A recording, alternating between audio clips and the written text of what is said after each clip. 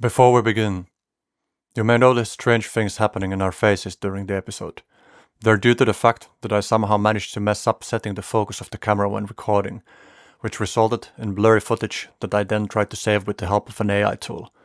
To my eyes, the outcome looks mostly okay, though occasionally a bit weird. I imagine you'll survive that. Coming up in this episode, hilariously ironic uh, messaging that comes out, particularly like even more so in the 1980s than in the 1970s. But um, you know, these drugs are bad. People who sell these drugs are bad, and they're dressed in sinister, cartoonish kind of clothing. Um, and you know, you need to be on the lookout for this bad stuff.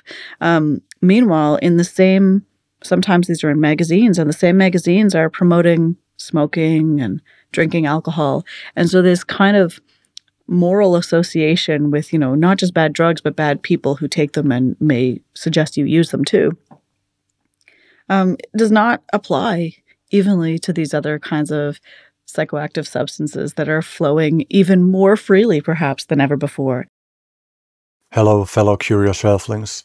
Welcome to the Curious on Earth podcast. I'm your host, Henry Soinnunmaa, and this is my conversation with historian of science, Erika Dyck, who specializes in the history of psychedelics.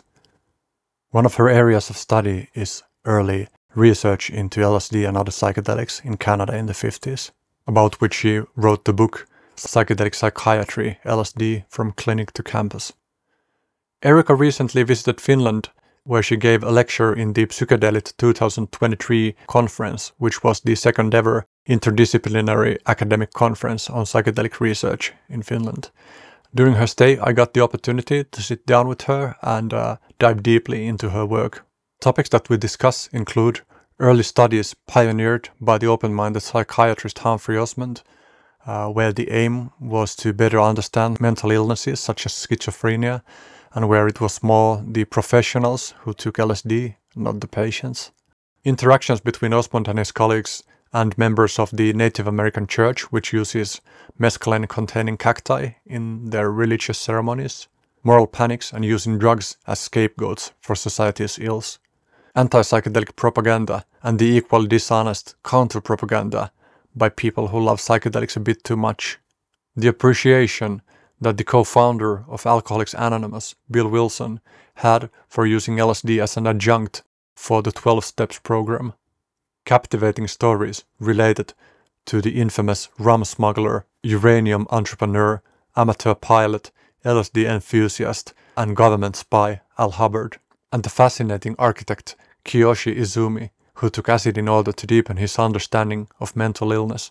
These are just some of the themes that we cover, so I hope that you'll take the time to listen to the whole conversation. As always, if you like the content, your subscriptions, comments, likes, shares, are very welcome.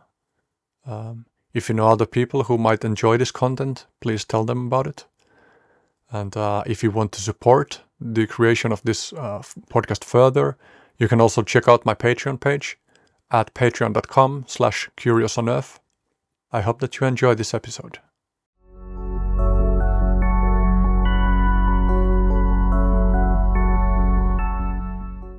Welcome to the Curious on Earth podcast. Erika Dyck, you're a, a, professor of the history of medicine in the University of Saskatchewan in Canada. And we are here in Turku, Finland, in Åbo Academy.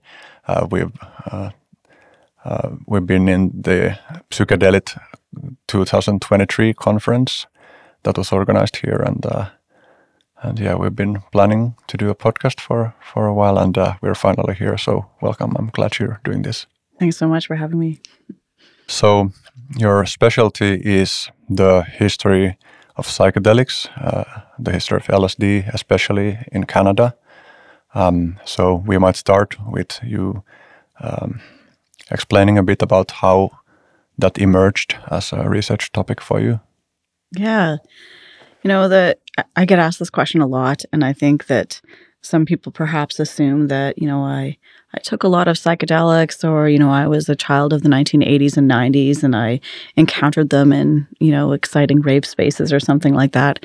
And unfortunately, the story is a little bit less interesting or differently interesting.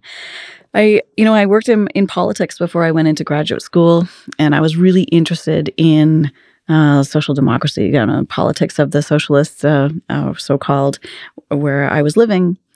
And I started with doing a research project for a historian of science who wanted me to look into the history of human experimentation all over the place. And I found this interesting intersection of LSD studies that took place in Western Canada that were sort of recruited by the architects of Canada's Medicare program. So these, you know, this kind of socialist government that puts Canada on the map for introducing publicly funded healthcare.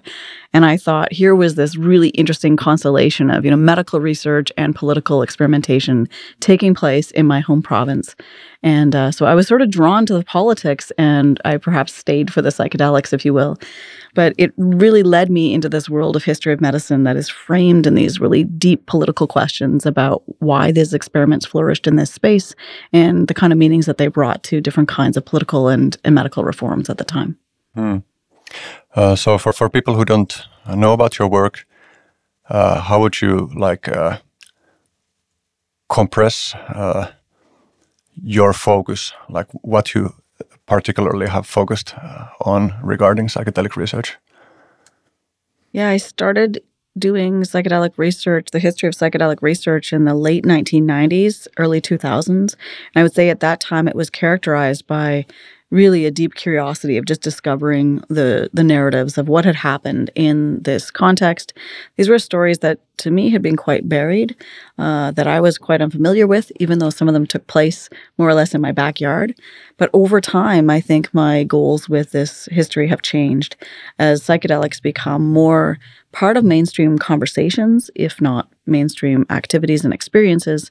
I think that the role of history is has changed a little bit, and you know I'm more interested in now in really delving into some of the more diverse ways that psychedelics found expression, both in medical spaces, but also in cultural and social spaces, to try to understand what it is that we are trying to revive or what psychedelics mean for the future. And so I guess my, my goals have changed a little bit, and, uh, and I hope they continue to, to grow in that direction. Hmm.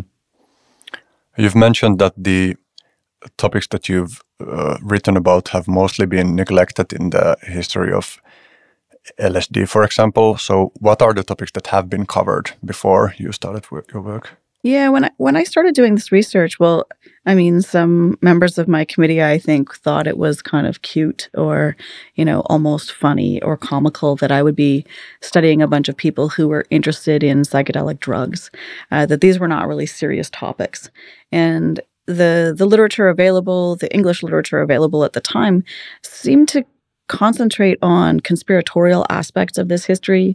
So some of which is, you know, the the sort of big stories that rise to the top of our imagination might be, you know, the CIA funding for psychedelic studies that were investigating areas of mind control and surveillance or stories about the unethical uses of psychedelics in some medical treatments.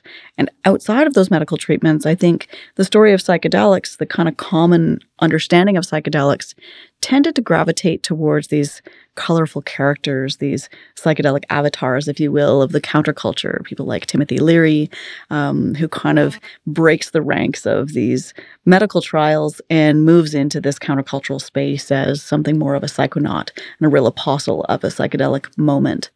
And others like Ken Kesey, or maybe we look at the music of the time and this kind of flourishing of psychedelic culture that becomes very much untethered from what we might think of as sober clinical trials.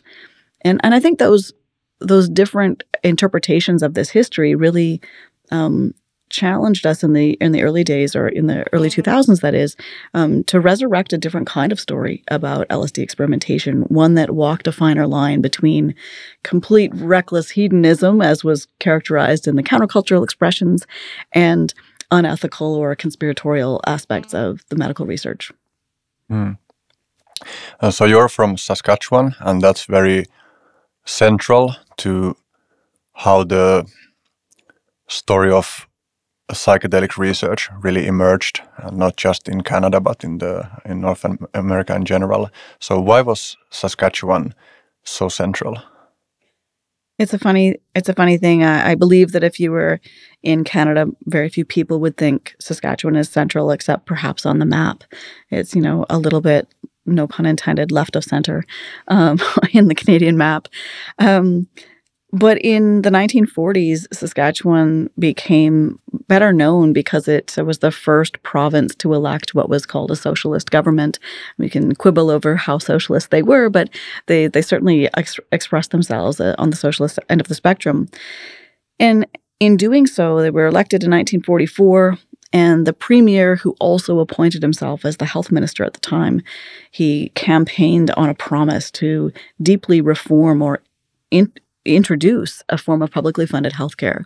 Um, and so this is the origin story in some respects of Canada's Medicare system now, uh, something that Canadians are very proud of and certainly distinguishes us from the Americans who continue to have a private system. And while it is not perfect, that story continues to be a really important part of sort of Canadian identity and Canadian history. And so Saskatchewan is really known for that, being the origin place of that part of our history. And yet, what I hadn't appreciated was how much LSD experimentation was woven into that story of the sort of intellectual and financial investment in a public healthcare system at the time, such that LSD experimentation was not only funded by the same architects of Medicare, um, but it was promoted and I think allowed to flourish and move in innovative ways in a well funded research environment that was really designed to reform psychiatric care, to think deeply about our mental health system, if you will, and imagine different ways of empowering patients or ex patients and reestablishing relationships with communities. And I think that ethos of public investment and a ideas about public health uh, were really at the heart of some of those early days of psychedelic research and allowed them to continue and were sustained for longer because people from a variety of different places began to gravitate to Saskatchewan as this kind of ideological magnet for investing in a set of ideas that really took root there. Mm. How would you describe mental health treatment at, at that time and especially like before the reforms that happened? What was the starting situation? Yeah, I mean, Saskatchewan was very much like many other places, uh, certainly around the Western world, where the the sort of main entry point for psychiatric care at the time was long custodial stays in these long term institutions, asylums, mental hospitals, to some extent psychiatric wards, but you know we've all seen or can imagine you know horror movies that build on these big gothic style asylums. Um, they are the stuff of horror movies uh, now, and I think even then. But these big sort of monolithic buildings dominated both the landscape, but also the thinking about psychiatry. This idea that you needed to keep people segregated from their communities, from their families, from kinship ties and that um, somehow this isolation was itself going to be reparative, which I think that idea fell away quite quickly, um, but the segregation idea held.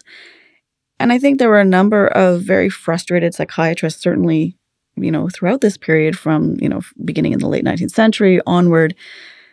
Saskatchewan opened what they describe as one of the last asylums in Canada, was, you know, still built in that um, institutional model in 1920, and this became the site of the LSD experiments that took place.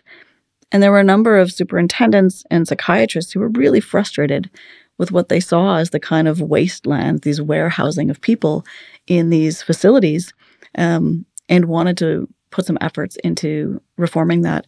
They're not alone. There are psychiatrists all over the place who are looking at investing in different kinds of treatments. And we see the 1920s, 30s, and 40s, the rise of things like lobotomies, electroshock therapies, or um, ECT, electroconvulsive therapy, different bodily therapies that are designed to change the way that psychiatrists handle mental illness and perhaps even bring some.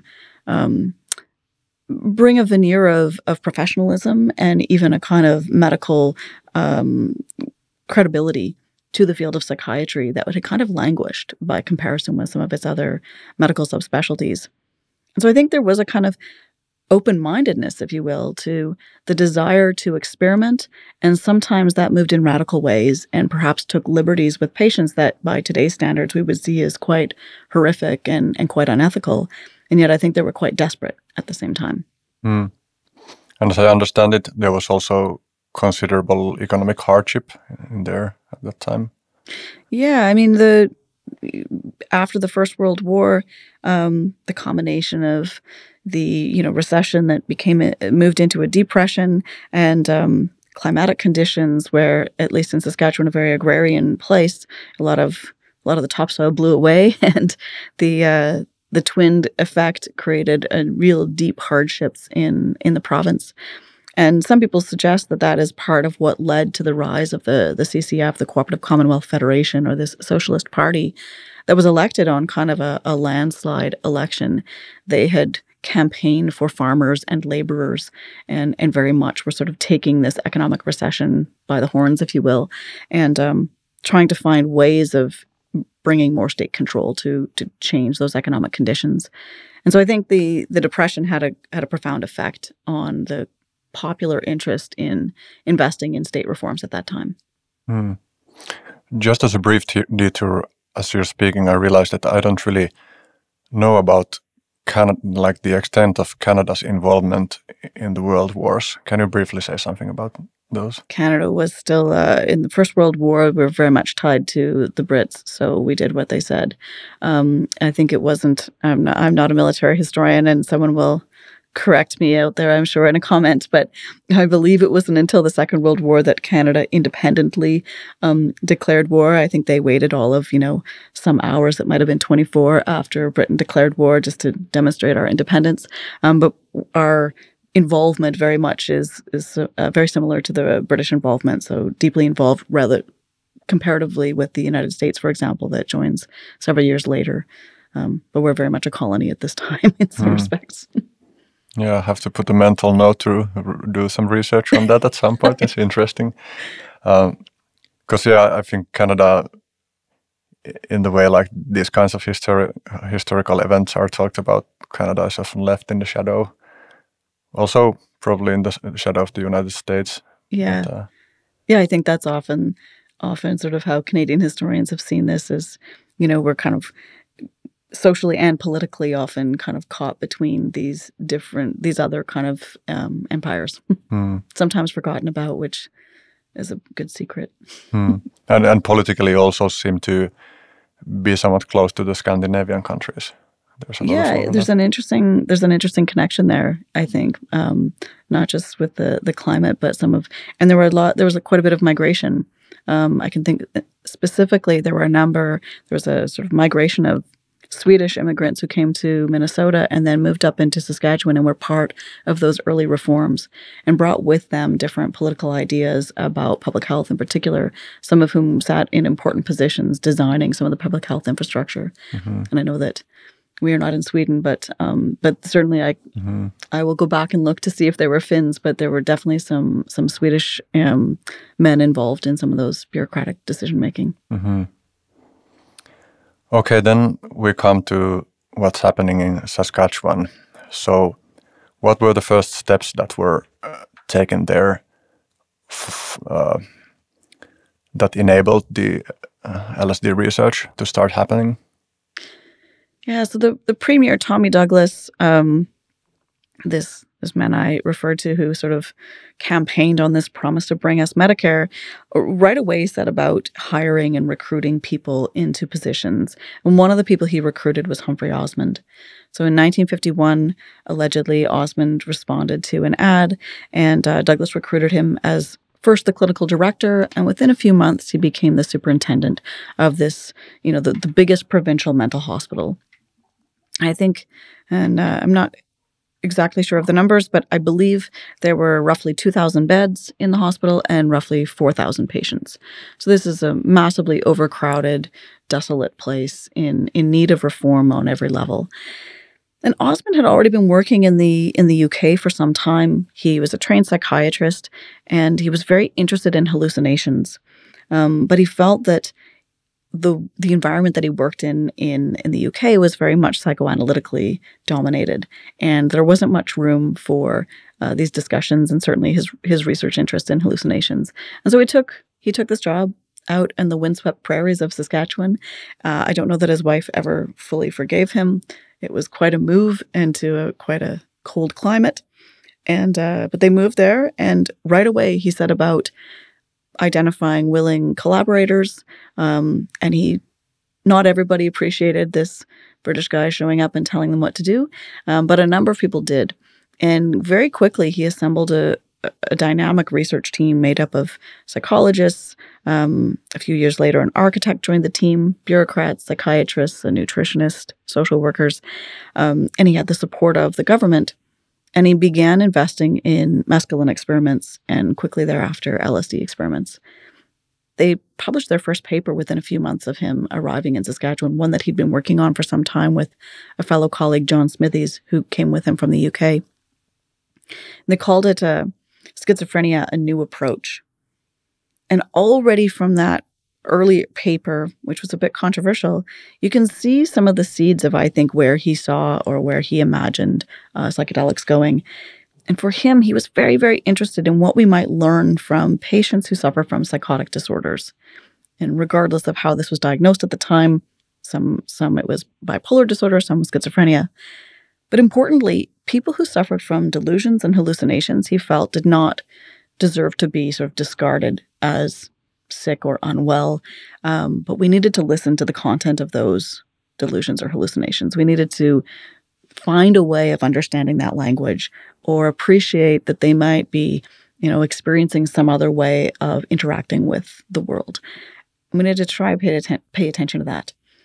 And that simple idea led him on this voyage. Then, once he started reading about mescaline, and once he got supplies for himself, he took some himself and thought this might be a window for him to access this experience that his patients seemed to be living in. But he felt as a psychiatrist, he was really uh, alienated from that experience and he couldn't help them if he couldn't understand.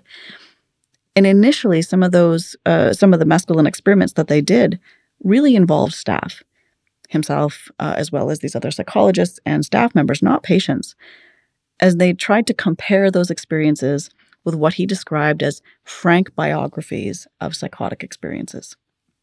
And that is not um, me writing about somebody else's, but somebody trying to write about it themselves. And then they they worked with patient groups and had patients read different excerpts of either someone having a mescaline experience or someone describing psychosis to see how well these matched. This was something he was very proud of. And it carries through his work in interesting ways, I think, this attempt to just widen our sort of um, containers or widen the landscape of evidence that we might draw from as we imagine then how best to care for one another. And that language is threaded through a number of his studies throughout the 1950s and well into the 1970s. Hmm. Once again, a slight detour on uh, etymology. Mm-hmm. So, First of all, I actually realized during your talk uh, the day before yesterday, mm, you mentioned the etymology of the word hallucinate, mm. and I realized that I didn't know that before. So, explain that. Hallucinate. I I am learning this as I go as well. I I too had sort of used it interchangeably, and I thought, oh, that that's a word that's been around for a long time. I believe um, I know that this is described in Plants of the Gods in Hofmann's Plants of the Gods, and I can't tell you right now off the top of my head where he cites that from. But the the word hallucinate has Latin origins that comes from the 16th century to mean wandering of the mind. Um, but the word hallucinogen, uh, I believe, and I started looking into this, and I so far can't find counter evidence. But again, perhaps the, you'll you'll get feedback on this, and help us to understand this. I believe that Osmond also introduced the word hallucinogen, which he later shied away from. Um, he preferred psychedelic, and as we've discussed, psychedelic remains with us today. But hallucinogen, because it concentrated too much on hallucinations, which are different. Uh, people with schizophrenia more often have auditory hallucinations, and this idea of the visual stimuli tilted too much to the psychopharmacological reaction and less to the organic expression of psychosis. And he moved away from hallucinogen as the word to describe this group of or family of substances. But he was playing with these other kinds of words and drawing from hallucinate, of course, um, being one of the core features that he was trying to investigate. It's interesting how the practical use of words often strays from the original meanings because Yeah, I wouldn't have guessed that hallucinate refers to mind wandering because the context is so often meant to be that you see things that are not there or you hear things that are not there or you imagine things. And of course wandering of the mind is also imagining things in a sense but but they do have a different kind of connotation. Yeah i, I too was was struck by this. I thought that it would have a more of a visual cue. Um, and yeah it's it's led me to want to learn more about this but I, I don't i don't currently know more what i I find curious is when we think about the history of madness, I think the wandering mind um, plays a really evocative, it has a really evocative place in the history of madness, especially if we sort of delve beyond a, a medical, medicalized world of madness. If, if madness can also be something that might be creative and even kind of like moving on the spectrum towards genius or innovation or being able to see things that aren't there in a more positive way, then I like that kind of wandering mind idea that one could see something different that might be a wandering mind. Um, but I don't know. That's just me sort of playing with with these ideas and trying to think about the different contexts in which that word may have emerged. Um, but I have more work to do there. Mm. Um, spontaneously, do you happen to know anything about the etymology of the word madness? No. Uh, I do know that um, it, it has long roots, um, and and part of part of what my mind goes to is the way that the word madness has been sort of re um, readopted, I suppose, by mad pride activists, activists in the community who, you know, we, we might see as a, a, bit of an umbrella term for some some people who identify within neurodiversity movements.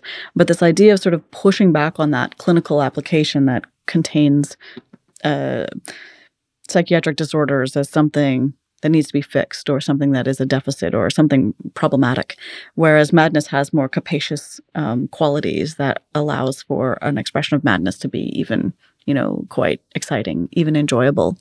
Um, but I don't know. I know that in the 1970s, Mad Pride activists re, re sort of took back that word, um, but I don't know where it comes from in, in, the initial sense.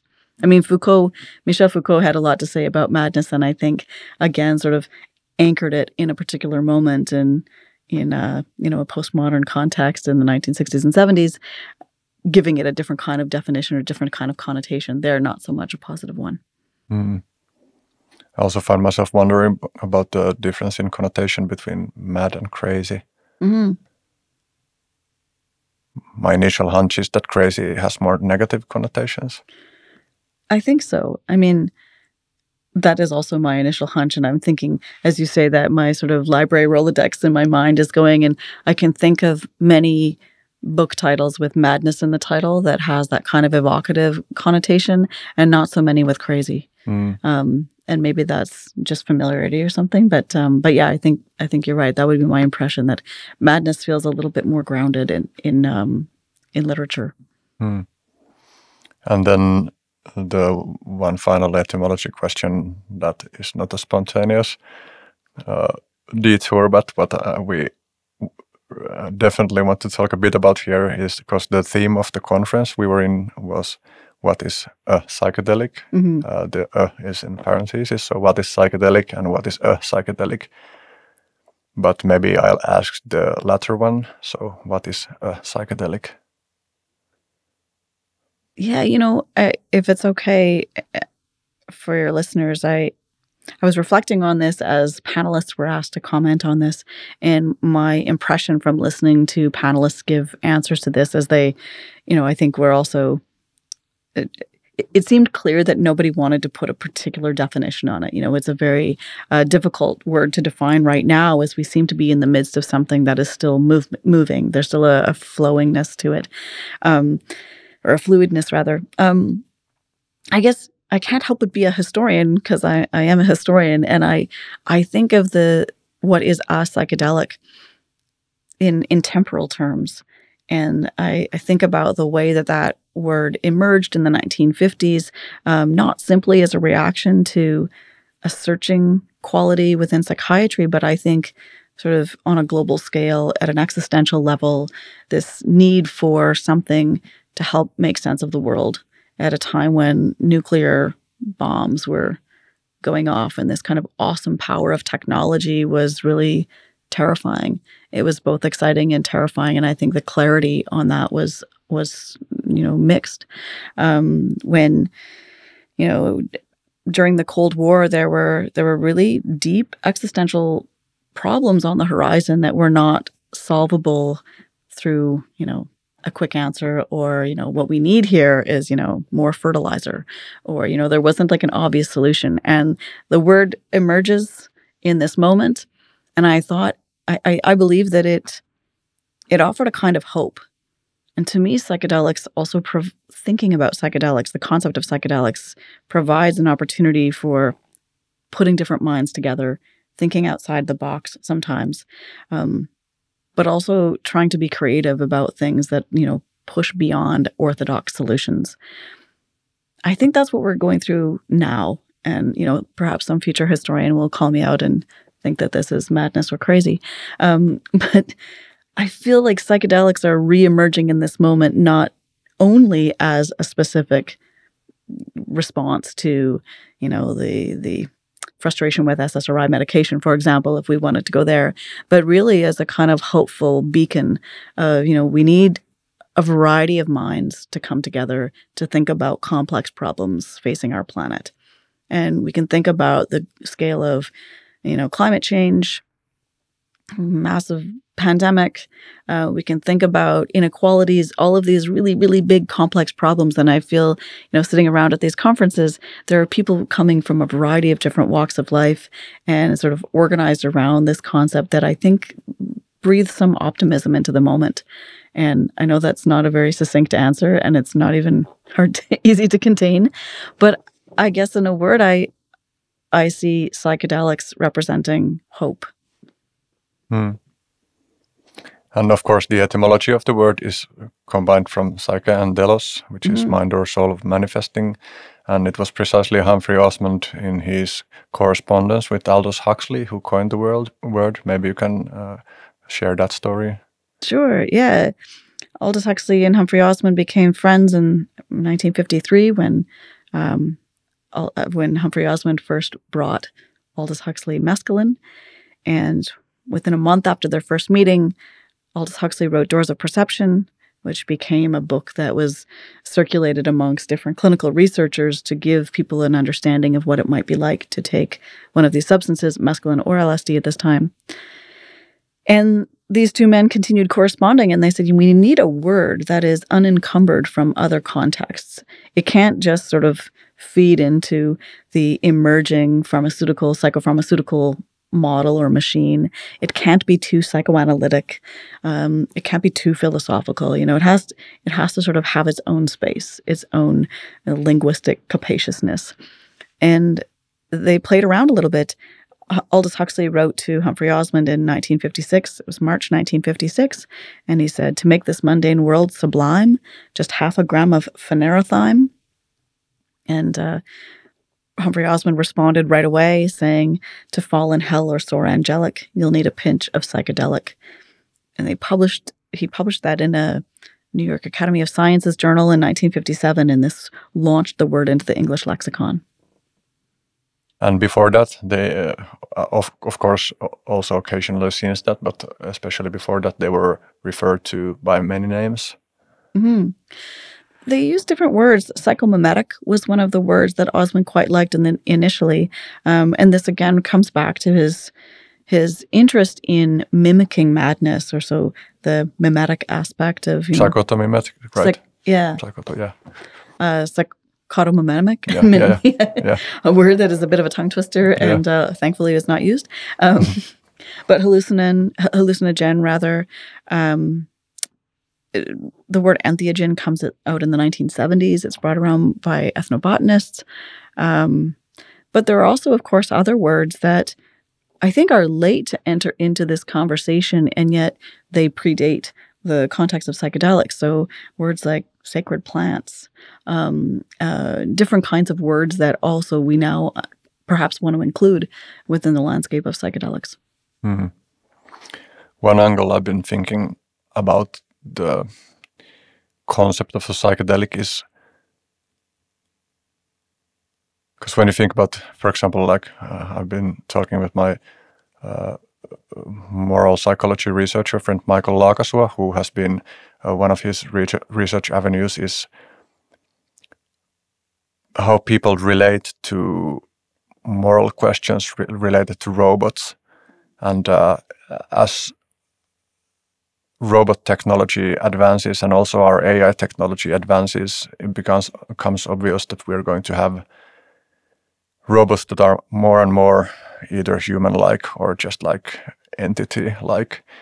And uh, even already now, even the clumsiest of robots, or, or for example, like now in Finland during the last year, there's been an increase in these uh, transport robots that bring food to people from the shop to the whatever the pickup places, and uh, we find it hard not to uh, what's the word for not anthropomorph for anthropomorphizing, but but like when you put just like more generally animal attributes on.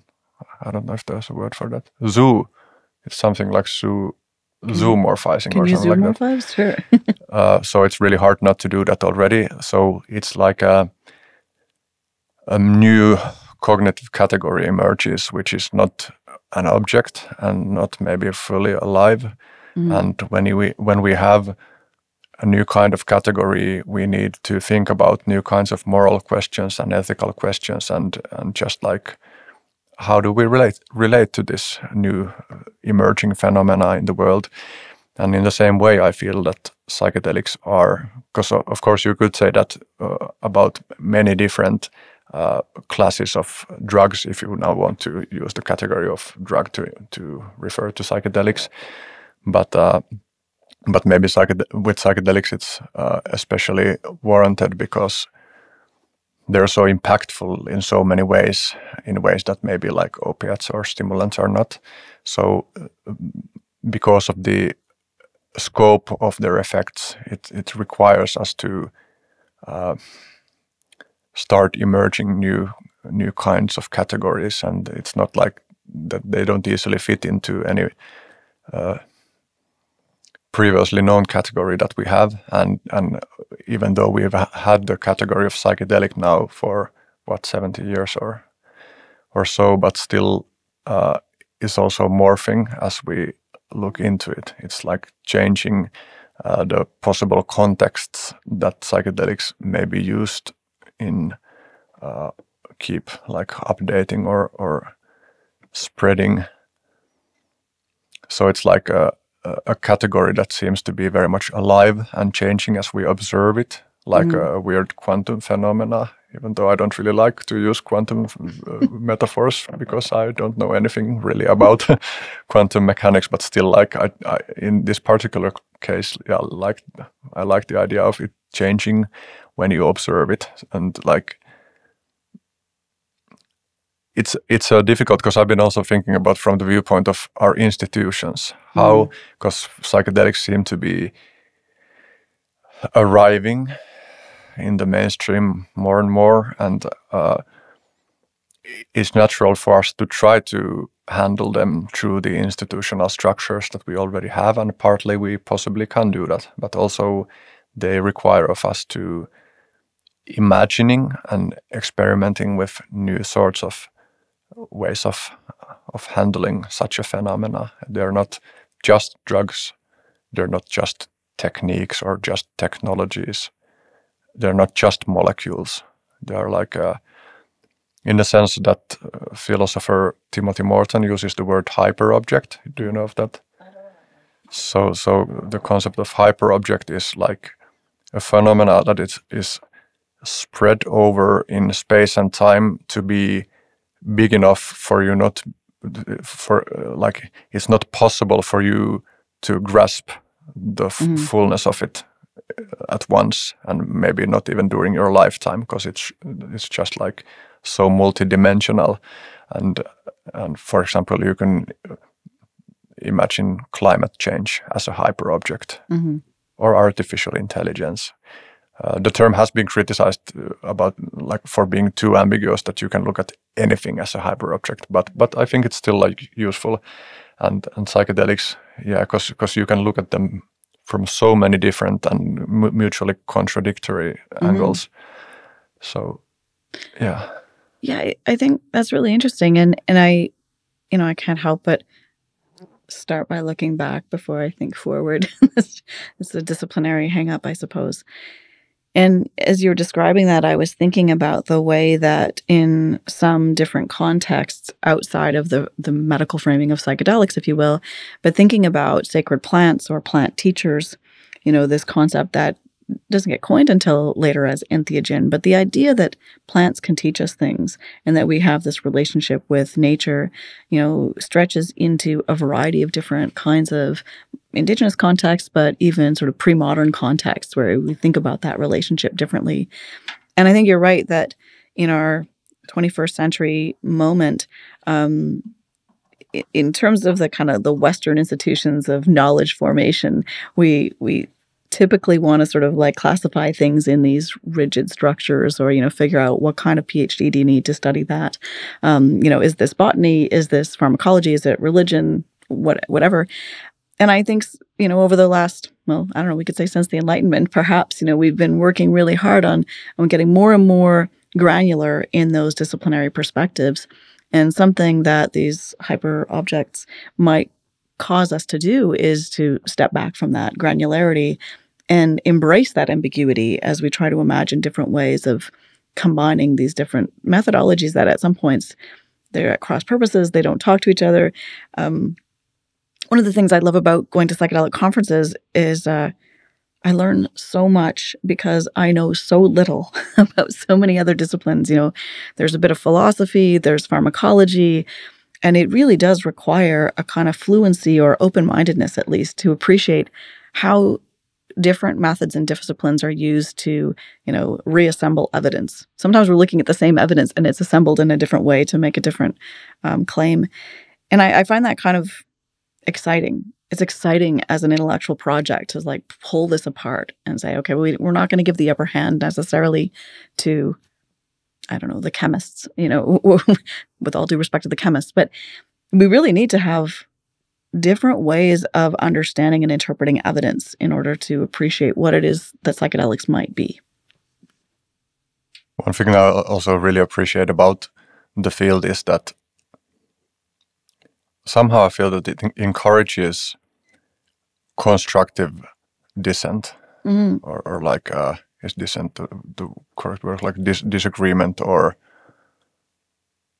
dissensus is probably the word that I'm looking for. So there doesn't need to be a consensus on what psychedelics are, but yeah. there can there can be dissensus which can be fruitful, and just like being present and paying attention to that dissensus, like. Mm-hmm. makes you learn new things about the thing you're researching and also of course psychedelics do have implications for so many fields that are relevant not just in the context of psychedelics. Like, for example, maybe we'll talk a bit later about the impact of the Saskatchewan uh, psychedelic research had on mental health work in general. But mm. yeah. Well, I was thinking as you're as you're saying. I mean, I, I think that there's a reason why. Well, there are many reasons why some of those earlier histories. I, I'm talking about histories that were done in the 19 late 1970s and 1980s that focused on these kind of conspiratorial conspiratorial aspects, these questions about ethics, these questions about counterculture. And I, I think, you know, we can dismiss those and say, this time we're going to be ethical or this time we're not going to be countercultural. But one of the things that I'm realizing as we sit in these kinds of meetings is that to study psychedelics requires us to rethink what ethics mean or what is sort of moral or ethical or appropriate in these contexts. And it's not to say that there wasn't unethical con- uh, conduct in the past, um, but they invite questions about what it means to enter into these kinds of relationships and reevaluate the kind of power dynamic that's at play when we engage in psychedelic experimentation. There was some conversation earlier in the week about what is informed consent. How can you give information about something that many just say is indescribable? And that might transform you and even your values in ways that are impossible to predict. Yeah. And does that then uh, overly suggest something? Does that, you know, leave an impression on someone and they feel ripped off if they didn't change their views? You know, Uh, so it sets up all sorts of questions that I think, you know, we can't afford to leave those alone in these fields either and just say, well, we've figured out informed consent, so now we can move on. It invites a rethinking of that. I think the same is true with counterculture. And I think it sometimes in in some of these conversations is used almost as a bad word. Like we want to make sure psychedelics don't we couldn't possibly let them get into a counterculture or create a count. I mean, they already have, they already do.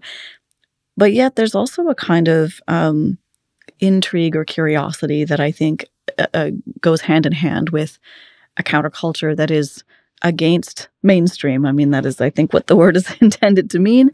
Um, and there's an element of that that is very closely aligned with psychedelics, whether it is within sort of Western Orthodox medical research, trying to push that research out into a different set of uh, questions and understandings. I think there is something fundamentally counter or radical or edgy or marginal. All of those things feed into that, what you describe as this sort of like lack of consensus. And I think that's really generative, it's really productive. And psychedelics have a, a history of doing that. And I think, I hope they have a future of doing that as well because i think that's one of the real values in in studying psychedelics is to sort of not be comfortable as, as, i wish i could remember exactly what aldous huxley said but it was something along the lines of you know anyone who knows what's what should take psychedelics because psychedelics remind us that we don't know what's what hmm. I'm thinking of whether I want to uh, spend a bit time disagreeing with Aldous Huxley because I'm really dislike statements of like anyone in category X should take psychedelics or should do anything. I should I will give you some context so you can decide whether you want to disagree with him. He was being interviewed, I think I can't remember now if it was a CBS or sort of a mainstream American television program where the interviewee said, "Well, who should take psychedelics, you know, and that was when he said it. So it was a bit provocative in the context in which he uttered that. yeah. It wasn't in a group of other people who were curious about psychedelics. It was mm-hmm. more to a television audience. Mm-hmm. Yeah, I can appreciate the spirit of that statement because uh, even though I wouldn't say that psychedelics always do that, but I think one of the most valuable things they can do is support you in realizing the depth of your unknowing. Absolutely. Yeah. There's an abiding curiosity, I think, that um, is part of what I see psychedelics to be. That there's this this relationship between curiosity and psychedelics that is perpetually in motion. Hmm. Okay, so now we can go back from this detour to Humphry Osmond, who um, I had listened to his interviews before and knew uh, knew a bit about him, but uh, reading your book uh, was the full title, but LSD from clinic to campus. Mm-hmm. Uh, is there still some subtitle or? Oh, psychedelic psychiatry, yeah. LSD from clinic to campus. Yeah. yeah. So yeah, after reading that book, uh, I, I had a more complete vision of the or understanding of the relevance of Humphry Osmond to to the whole psychedelic research movement. Uh, before reading the book, uh, he was just in my mind more just one of those characters. Of course, maybe you could say this about each of them, but uh, but still, he was he was in many ways ways relevant. Some of which include the ways we speak about these things, but also like developing practices related to them. So maybe you can continue on the story from before. Yeah. So after they introduced the word psychedelic, um, Humphry Osmond ultimately spent about a decade in Saskatchewan. So in in what he describes as a relatively well supported research environment, uh, both in terms of finding collaborators, but also having some dedicated funding, um, and and really a kind of dynamic space where when you know people came through this space you really don't find yourself coming through Weyburn, Saskatchewan by accident. You know, you have to be very intentional about going to this this place that's not even near very close to uh, a major city in Saskatchewan, let alone, you know, Toronto or Vancouver. And Osmond sort of leaned into this as an opportunity to almost create this research incubator. So people would come, they'd have to stay for a little while. He had house guests, you know, Francis Huxley stayed with the family for a while, uh, as an example. And it created this kind of, you know, uh, secure environment in some respects for really kind of getting down into the research. And to that end, he worked with uh, a fellow psychiatrist named Abram Hoffer. They, I think, they wrote letters to each other every single day. This is um, a fun deviation, which maybe we'll get into. But you know, the role of the internet, I think, has some part to play in the history of psychedelics. But I'll footnote that for later. So prior to the internet, thankfully for me as a historian, now we have these typed letters that we can still read instead of texts and emails to sort through. Um, but they wrote daily about all sorts of minutia when you think about you know setting up the spaces you know where should we put the couch how close you know really thinking carefully about things that we later come to know as set and setting. Um, already in 1952 they have a, a manual that they've produced which is i can't remember the number almost 200 pages. And in it are really specific recommendations for things that, again, we would later come to see as set and setting. But they're drawn from these large, really kind of, you know, undigested, unedited responses from people who have tried psychedelics in this environment. And it's something I think is really, really important and worth um, sort of dwelling on. They said initially, Osmond was one of the leaders in this, I, I'd say, saying, like, we don't know which parts to discard. We can't. This is not, this is an experience that we can't sort of summarize or condense into a series of yes or no questions. You know, we really need to let people express themselves, and sometimes it's a piece of artwork that their patients would later give them, um, patients or subjects, I should say, because many subjects initially were students in the nursing program or students in psychology. They were interns. They were other staff members, and again partly because initially they really wanted to impress upon people the importance of empathizing with patients who, in many respects, were considered untouchable. These were patients they thought, you know, uh, we're not going to get better with. At this time, there wasn't even uh, SSRI medication, but they really weren't going to get better by conventional means available to psychiatry. So, warehousing them, trying to give them clothing, trying to feed them was about the best they could do. And they said, let's do better. And by I, I interviewed I interviewed a man a few months ago who's in his 90s. He was a psychology intern in 1957 and he came to Weyburn. He'd never heard of LSD. And he said, I, I went for a walk with Dr. Osmond, who was his research um, supervisor. And he asked him if he wanted to try some LSD. And he gave him some protocols and uh, encouraged him to read Doors of Perception. And this man said to me, you know, very matter of factly, he said, So I, I thought I better do this because it would be good for my training. He said, and you know, it didn't really have any effects. We walked around, we were walking around by the lake, and uh, I looked down and my arms had become serpents. And he said, and I thought, I can't tell the good doctor that my arms are serpents. How do I maintain my composure while I'm having this interesting talk with my supervisor? And he said, But I turned to him, and he must have seen something in my face, but he knew at once what I was going through, even if he couldn't understand that the color of the serpents. He said they were extraordinarily colored. uh, he said, but that feeling of not being judged, that feeling of understanding, even something so bizarre as this, he felt that this, he could see how this could be a, a fabulous way of introducing students or interns or whomever to the way that we need to approach people with humanity and you know get past the judgment of these feelings. So he said even when my arms were serpents i felt he made me feel whole. And i tell that anecdote because it really impressed upon me that you know how this guy sort of comes into this space where he's very deferential to his supervisor, as many of us might be in a similar circumstance. And yet he was confronted with this kind of jarring experience. And what he made sense of it was that this was a very humanizing experience. And I think that's something really valuable to take forward out of those early days of those experiments, really were about trying to just like humanize an inhuman situation, mm. you hmm. know, the warehousing of people. Nowadays we pretty much take it for granted that context is very relevant when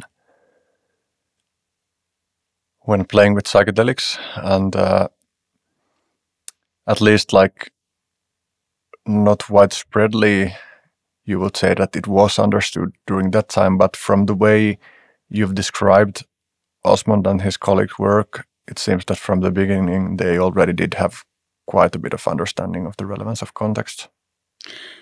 Absolutely. It's it's always surprising to me sometimes I think, you know, obviously we can't read everything and uh, there's lots, but history gets sort of shorthanded. We sort of sometimes it gets clipped off.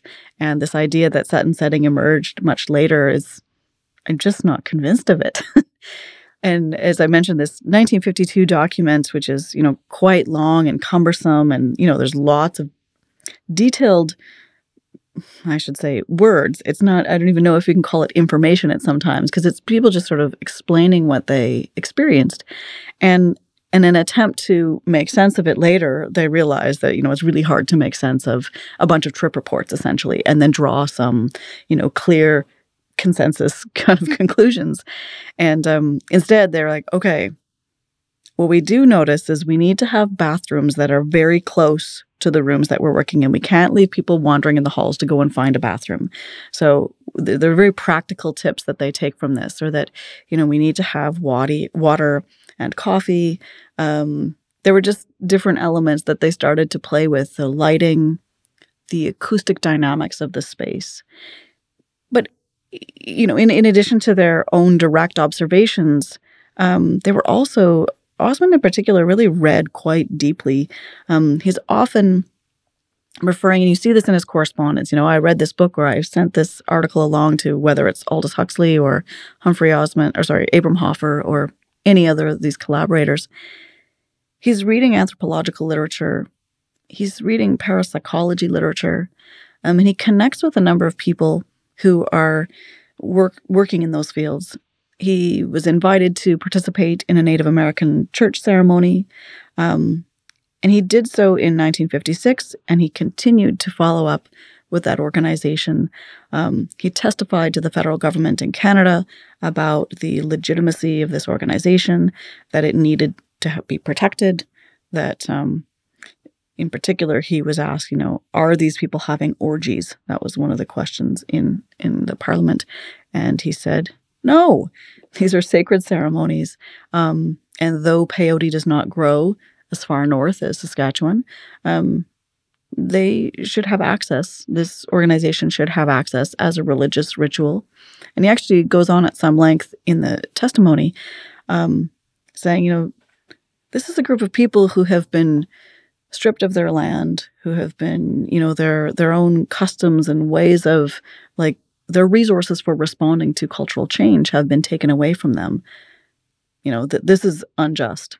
Um, even reading it from a 2023 perspective, you know, it's written in 1961, one of these pieces of testimony, and it sounds there are some rough edges of it, um, but the core of it is very sympathetic to the plight of Indigenous people in Canada, um, which sort of puts him, you know, with his British accent, he sounds like a colonizer, and yet the the sort of spirit of his language is much more empathetic and aligns much more with the kind of work that he's doing in this greater or grander attempt to humanize weirdness, if you will, humanize human diversity, humanize all of these kinds of things that he's observing in his practice that have often been sort of put outside of the main main frame.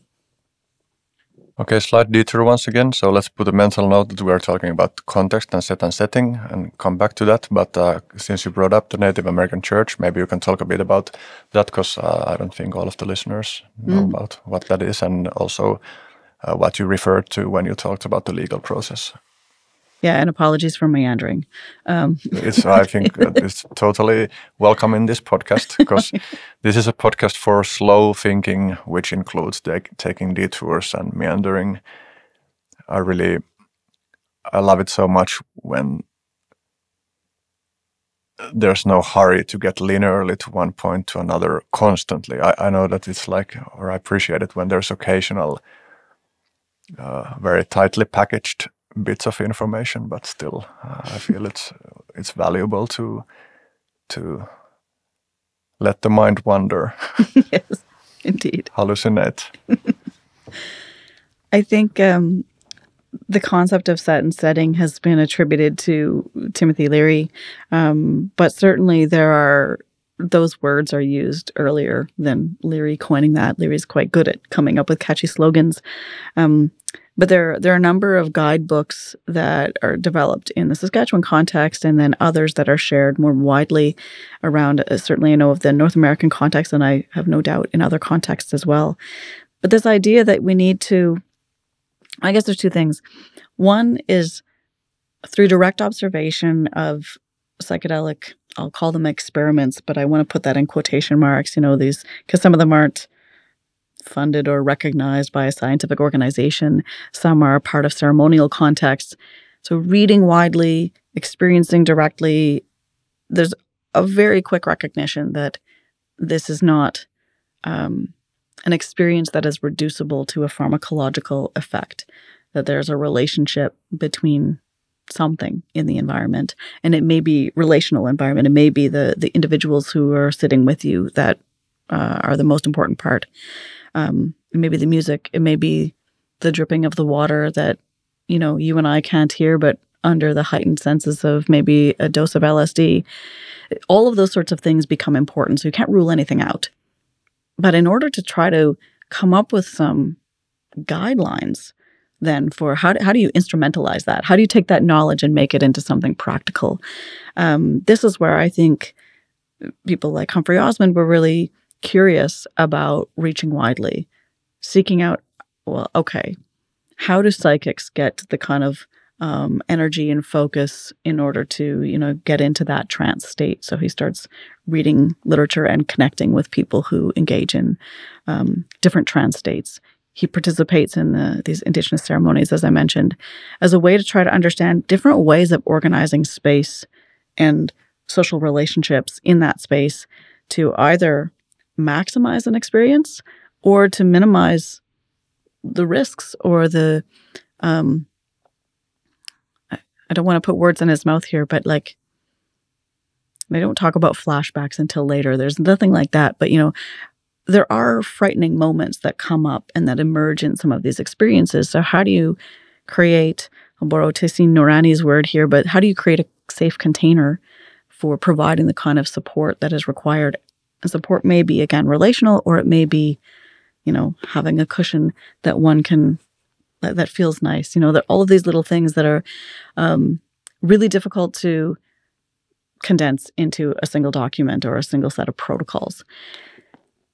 But I want to step back for a moment and, and say that I think that really sort of curiosity about those, you know, the sort of how wide you can cast that net um, really worked at odds with contemporary pharmacological research that is taking place at the same time in much of Western psychiatry.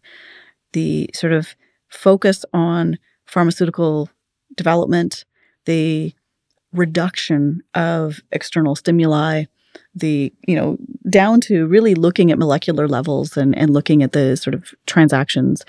Um, and it's getting a lot of attention. And those kinds of papers are getting published. And pharmaceutical industries, pharmaceutical companies are making a lot of money by being able to find solutions to, or what appear to be solutions to psychiatric problems that perform consistently, that can be scaled across a variety of contexts, across a variety of experiences, genders, ages, etc.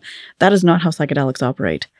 You know, I think, and as they sort of go down this path of thinking, okay, we we understand that these particular substances cause some reactions. Now we have to like think about environment in the biggest, widest way.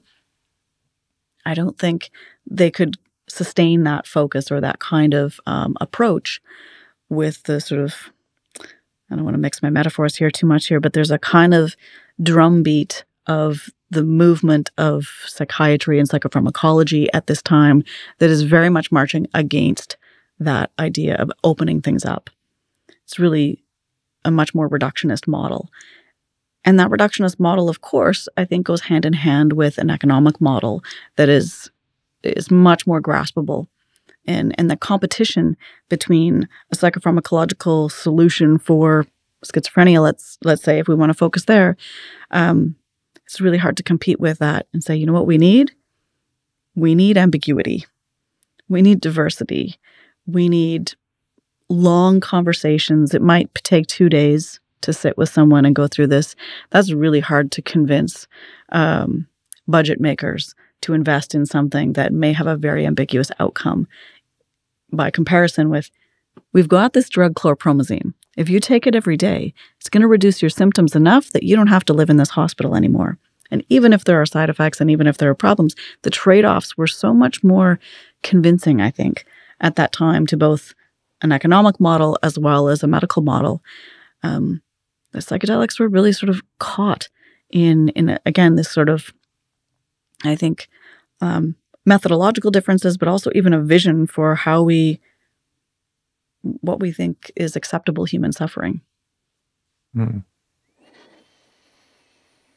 I think I derailed you now a bit because uh, I also wanted to have the uh, detour uh, going a bit deeper to the Native American church, but it was also like this was something that we were going to cover anyway, so it's good that we did that here, and maybe we can now trace back a bit uh, sure. uh, to the yeah. Native American church. So, what is the Native American church, and and uh, yeah, explain the relevance sure. That, uh, so the to this. Mike Jay has a great book out, uh, a recent book about this, which uh, I will I'll try to sort of condense a little bit in the sort of textbook thing. Um, the Native American Church is formally recognized in Oklahoma in, I believe, 1912. Um, Mike Jay will have the answer on that. Perhaps Wikipedia does. Um, but in essentially the early parts of the 19th century. And what we understand about the Native American church is that it condenses and legalizes, formalizes a set of practices um, that stretch back, of course, um, prior to the, the 19th century or the 20th century, rather. It's a syncretic religion that brings together Christian principles with indigenous practices. It centers around what is sometimes described in the legal language as the sacrament of peyote.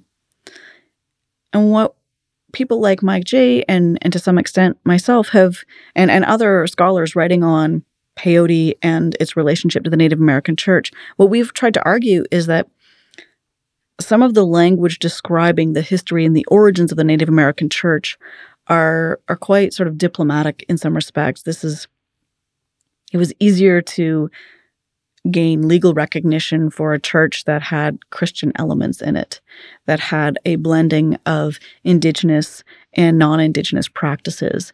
And so the history sort of follows along those lines and sees this as a syncretic trans or pan indigenous organization that worships the sacrament of peyote, which grows around the Rio Grande, so sort of the border between Texas and Mexico.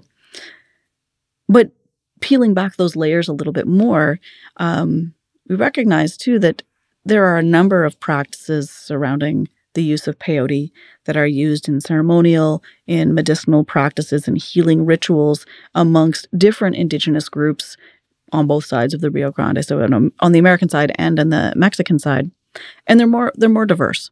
Uh, yes, the practice of peyoteism is common, but the rituals around it are different.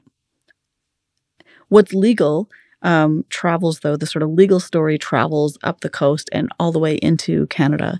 Now, peyote doesn't grow there, but they were permitted to take pilgrimages to Texas to the peyote gardens um, to retrieve sort of uh, naturally growing peyote cactus.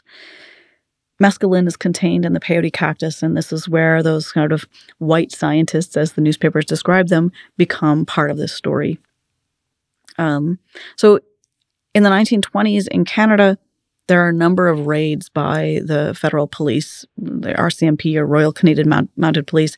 They raid a number of Indigenous territories and find peyote use, and this shows up in the newspapers. And men usually end up in jail for carrying peyote, which they describe as a narcotic. Um, this continues, but it's fairly episodic. It's not widespread. In the 1950s, the Native American Church tries to legalize in Canada. And again, there's a little bit of a, of a challenge here because peyote does not grow in Canada. Um, so they can't really claim that this is an ancient tradition that has been carried on because it simply wasn't growing there. However, there are kinship ties that link people across these different territories. And they held a ceremony which Humphry Osmond, Abram Hoffer, and two others, Duncan Blewett and Teddy Weckowicz, attended, these white scientists. And in that ceremony, um, Humphry Osmond took four peyote buttons. He sat in sat in ceremony with um, with uh, members of the Cree First Nation, the Red Pheasant First Nation in, in Saskatchewan, and later testified to the federal government that this was a sacred ceremony that needed to be retained. Um, and moreover, in addition to what I said previously, moreover, some of the concerns about um, addiction on reserves, namely alcoholism, may even be mitigated by embracing this more wholesome, you know, uh, religious intervention.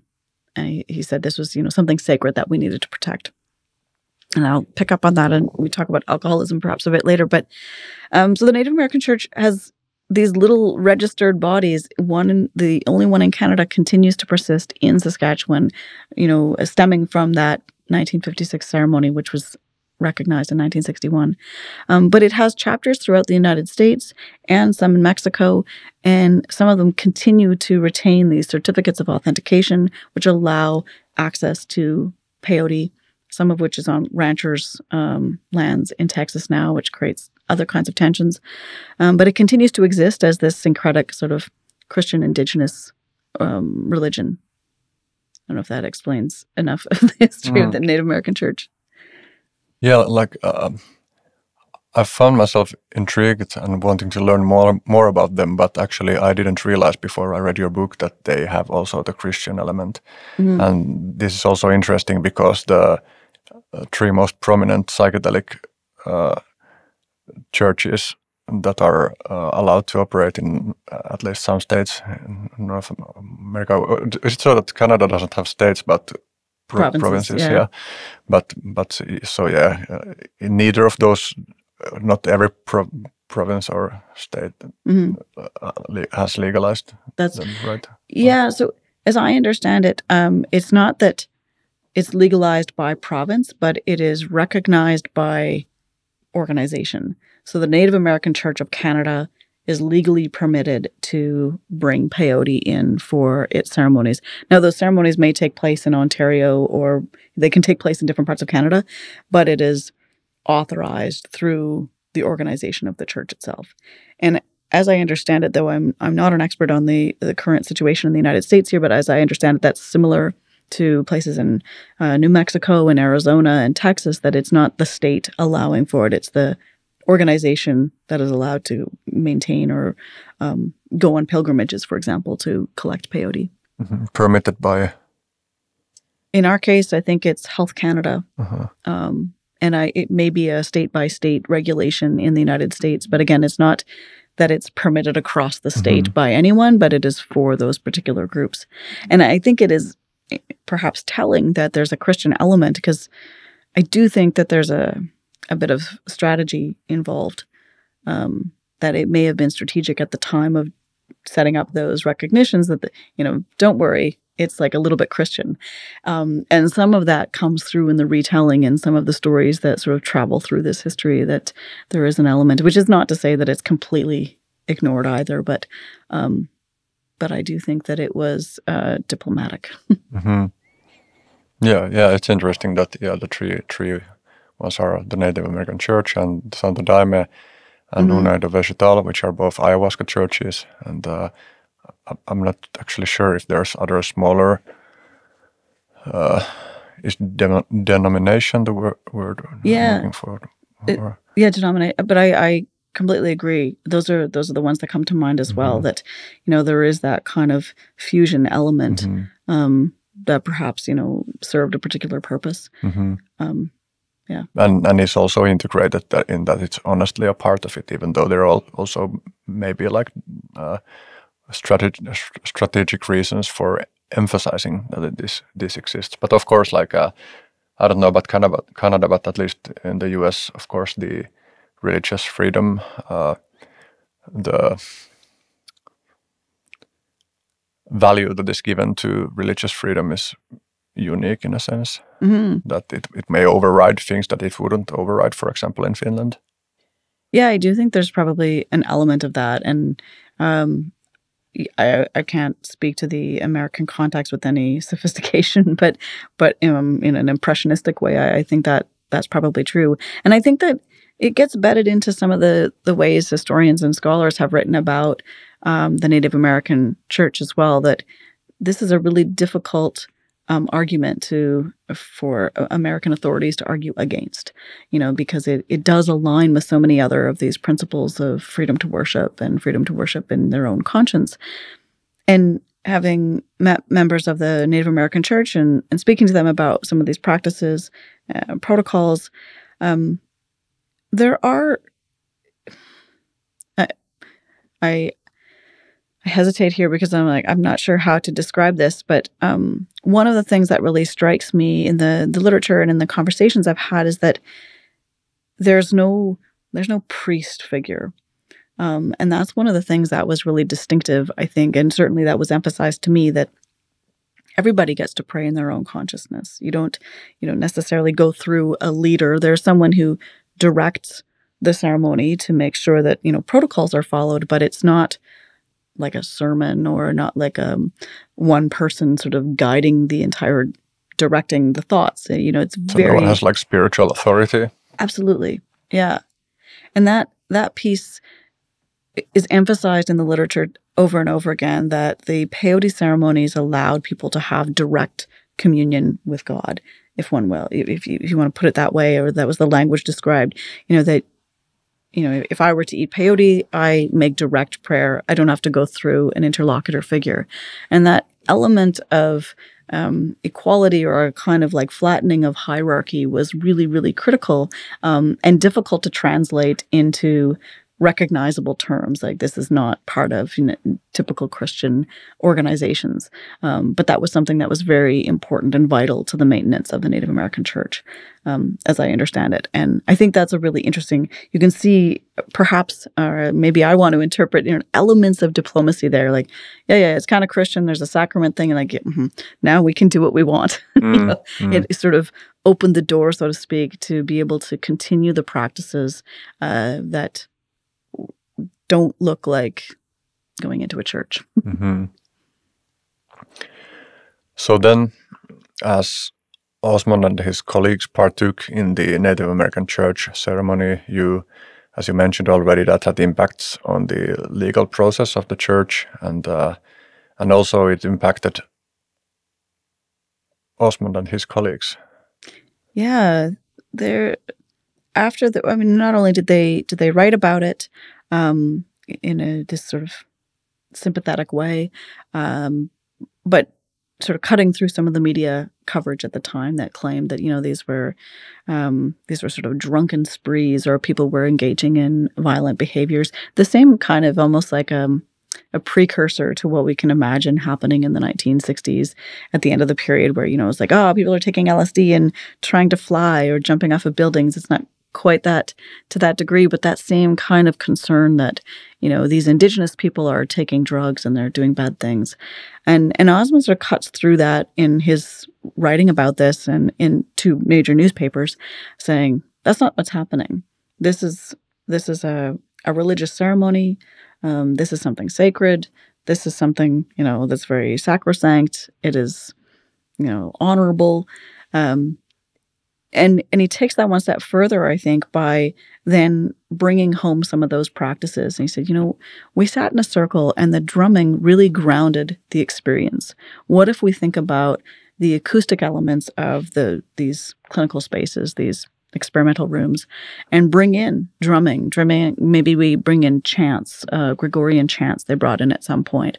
They didn't ever in as far as i saw they never moved to like jimi hendrix or you know janis joplin or any anyone we might superficially grab for as a like psychedelic musician though that always, also came later in the 60s it's true it's true yeah.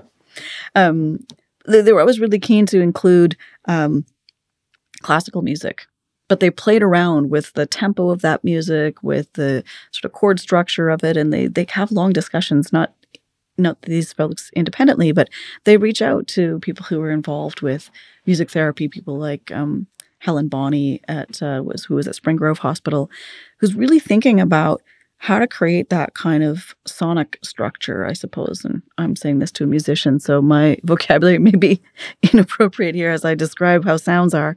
Um, but they recognize that this is something that they also appreciated from the singing and the drumming that really kind of grounded the experience. They also recognize that at the Native American church ceremony, there were group practices at play.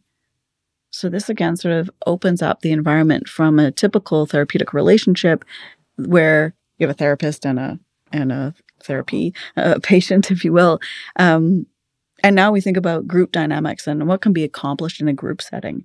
And it was something that, in fact, they they say like this is the first time we really thought about these group settings, and they began to incorporate different elements that would allow for group settings. So how do you create safe space for a group setting? What are the ethics of a group setting? And it changes all of those questions again, or it opens up new conversations about how to adjust for that kind of space.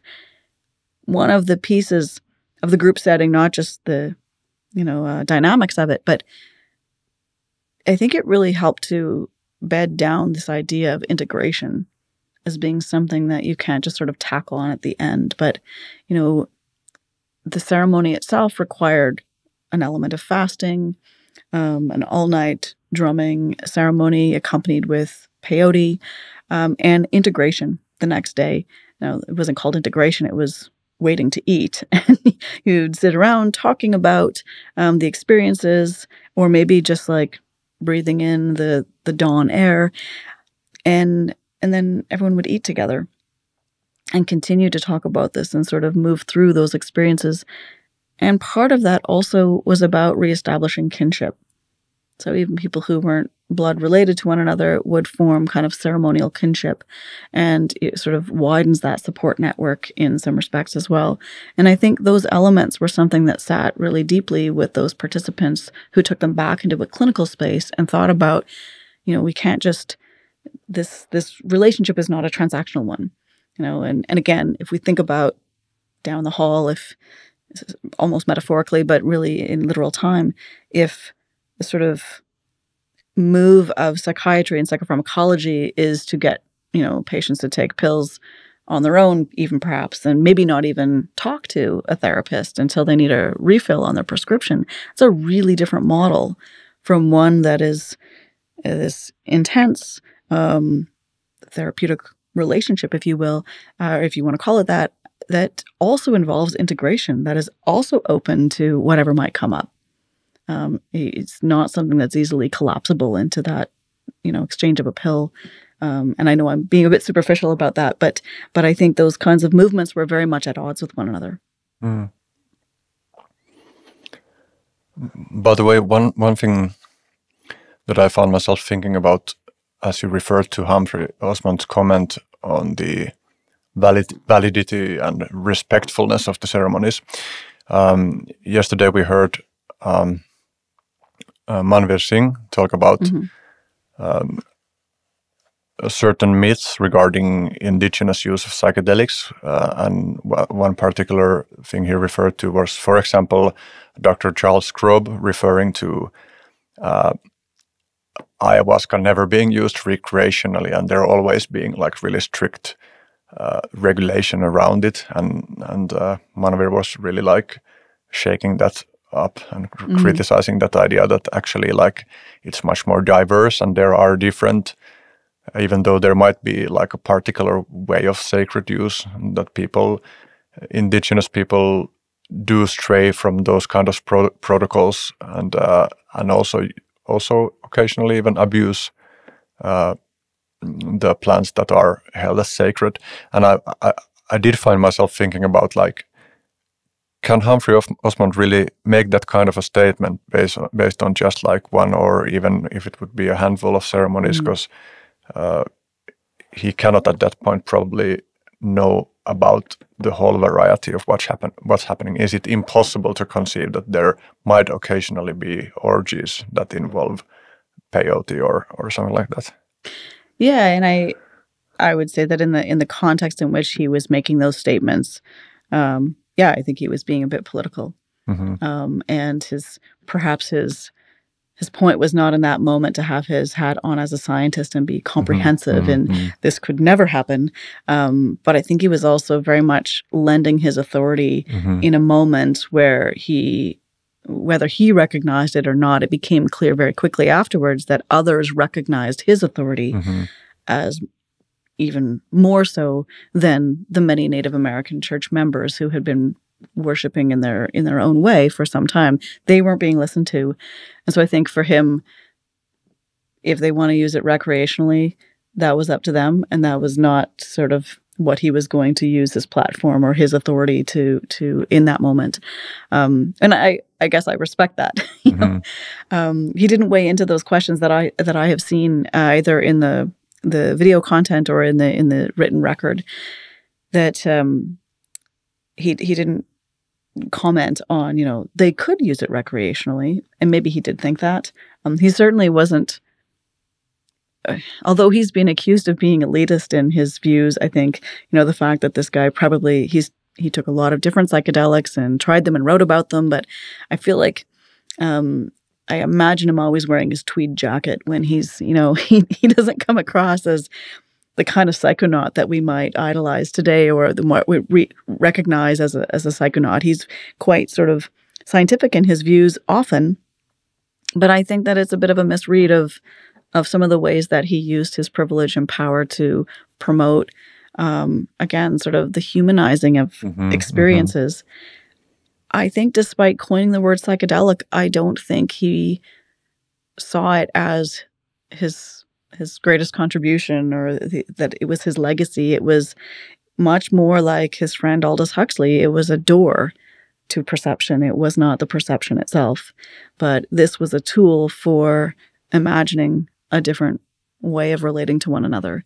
And um, uh, to me, that's consistent. You know, his statements about you know this is good, leave them alone, is consistent with that attitude that he takes to a variety of others, you know, whether it was you know, women who were engaged in parapsychology who were not getting credit either. And so he co-publishes with them and he works with them and they're, you know, he's he's keen to raise their profiles as well. And not in a heavy-handed way, I don't think.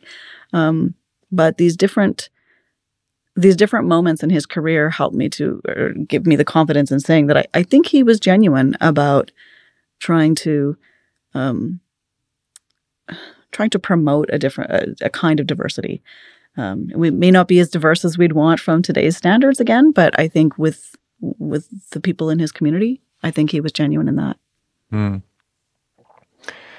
Okay, then to to go back to the psychedelic research projects in Saskatchewan. So initially, the focus was quite a bit on on schizophrenic people, and uh, and the professionals taking the psychedelics in order to understand them. Mm-hmm. Was there at this point al- already like uh, treating, trying to treat schizophrenics?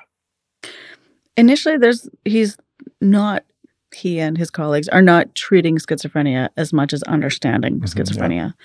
Um, within a few years, he helps to establish uh, the Schizophrenics Anonymous, which is an organization that is modeled on Alcoholics Anonymous to create peer support.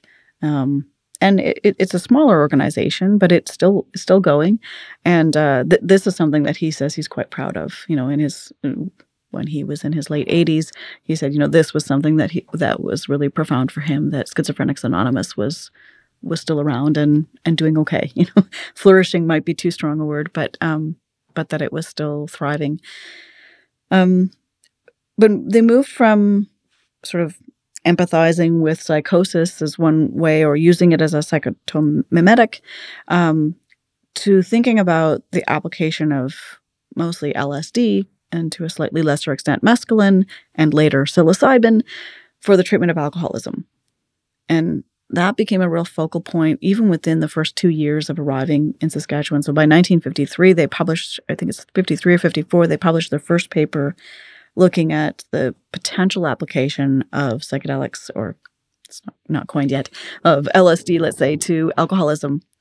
And even yesterday in the comments on the panel, there was some discussion about, you know, the early attempts to use LSD to shock patients into some kind of recognition of the need to change their lives.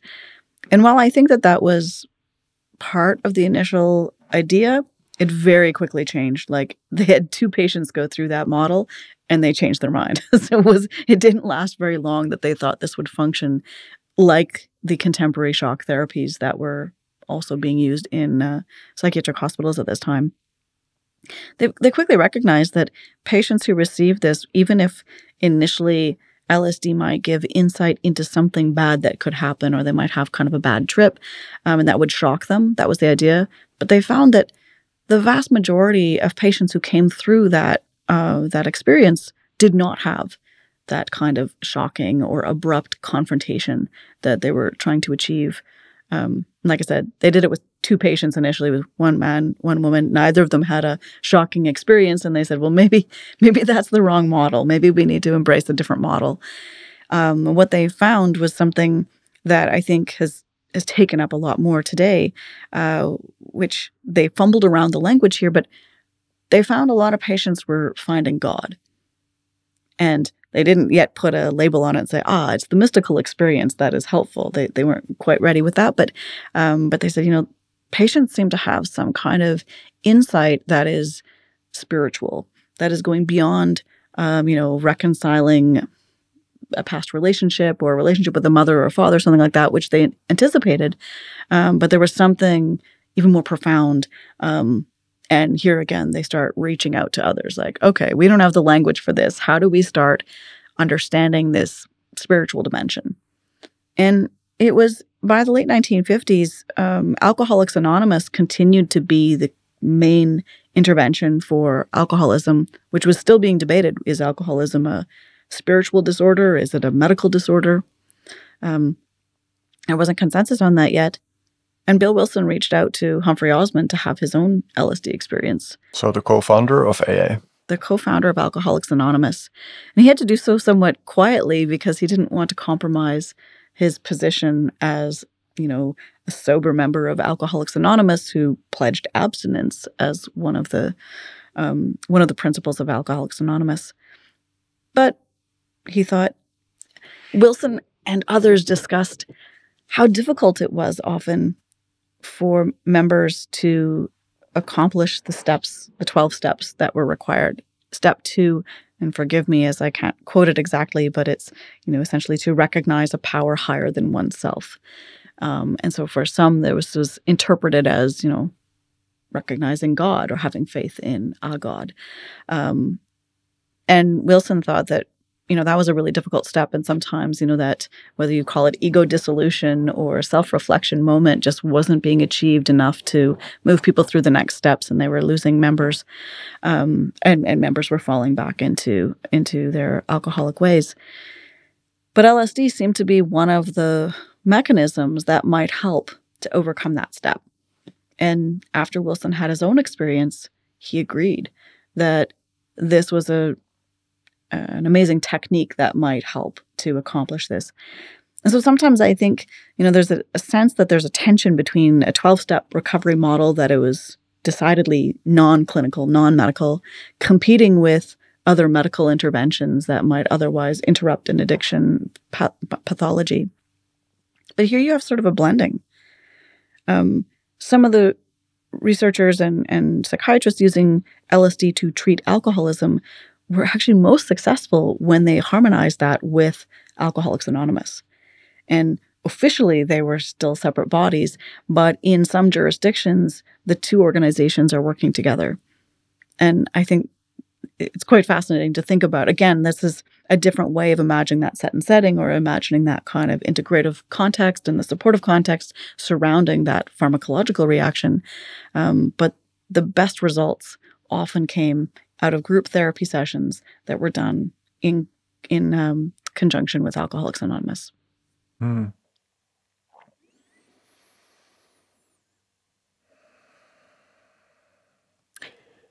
And then the sort of flowering period of the initial uh, psychedelic research phase continued for some time. Mm. What were some other important developments in there? I think there's a, a book called The Hallucinogens that's um, edited by Humphry Osmond, written largely by him as well. And he claims that by 1961, there were over a thousand published scientific papers on hallucinogens on and again we might say psychedelics but and he goes through a whole a whole range of them some of these are anthropological literature as well but this would suggest a kind of like high point in terms of the publications of uh, you know relative to other other research that's taking place at the time. And it doesn't entirely fall off at that moment but i think things begin to shift. And i well i guess there's two things. One thing it, can i talk about architecture for a 2nd mm-hmm. All right. So i mentioned at the beginning that you know saskatchewan was involved in changing its um, public health infrastructure. And one of the things that came along with that was reforming hospitals so the still the tommy douglas government hired an architect named kiyoshi izumi a japanese canadian to make some reform suggestions for the architecture of these giant psychiatric hospitals. And he said, you know, you should you should go and visit Osmond. I don't know if he actually said that, but that's the implication in the in the letters. And he did. And um, Osmond became friends that actually Jane and Humphry Osmond became friends with Amy and Kiyoshi Izumi. And uh, in fact, the Osmonds were godparents to their children. So there's a real kind of kinship forming there. And of course, Osmond explained his theory that, you know, in order to understand, you know, the people who were living in these spaces, you know, it's best or it may be advantageous um, to take LSD. And so Kiyoshi does. Um, he's he described how like he had used glasses for a long time, but he could take his glasses off now and he could see space in a very different way. And as an architect and designer, he became very fascinated with the possibility of trying to design spaces for people who have a different perceptual relationship to the spaces that they're living in. And so he took LSD a number of times and he wandered through the halls of these of this gothic psychiatric facility, you know, and these are dotted around the Western world. These aren't very unique. And he noticed some really basic things, like long hallways were very disturbing if you were hallucinating, if you were having some kind of distortion in your perception. He said these were spaces that you may not want to enter into. And now, if you're imagine that you are a patient and in one of these facilities and you're supposed to come and, you know, come to social time or come and participate in any kind of activity. And if you walk out of your room and the walls are moving, it may be an intimidating space to walk into. And he said, moreover, tiles on the floors, especially different colored ones, you know, black and white even, may appear to be holes in the floor. And so he said, maybe people aren't actually antisocial or unwilling to engage in these activities, but the environment itself has become menacing or it appears menacing in under certain conditions. And so to that end, he he designed a different kind of hospital, one that avoided some of these features, uh, both in its architectural structure, but also in those design features. Now, there was a bit of a mixed blessing here. I, I think, well, I'll say two things. One of the things was he designed it for patients, not for nurses, not for administrators, not for, you know, whoever has to come in and count people or whatever. So there were some grumbling from staff that he recommended, for example, that the beds be lowered so that if you're sitting on your bed, you can put your feet on the floor. You can feel, you can ground yourself. You don't have to wait for someone to come.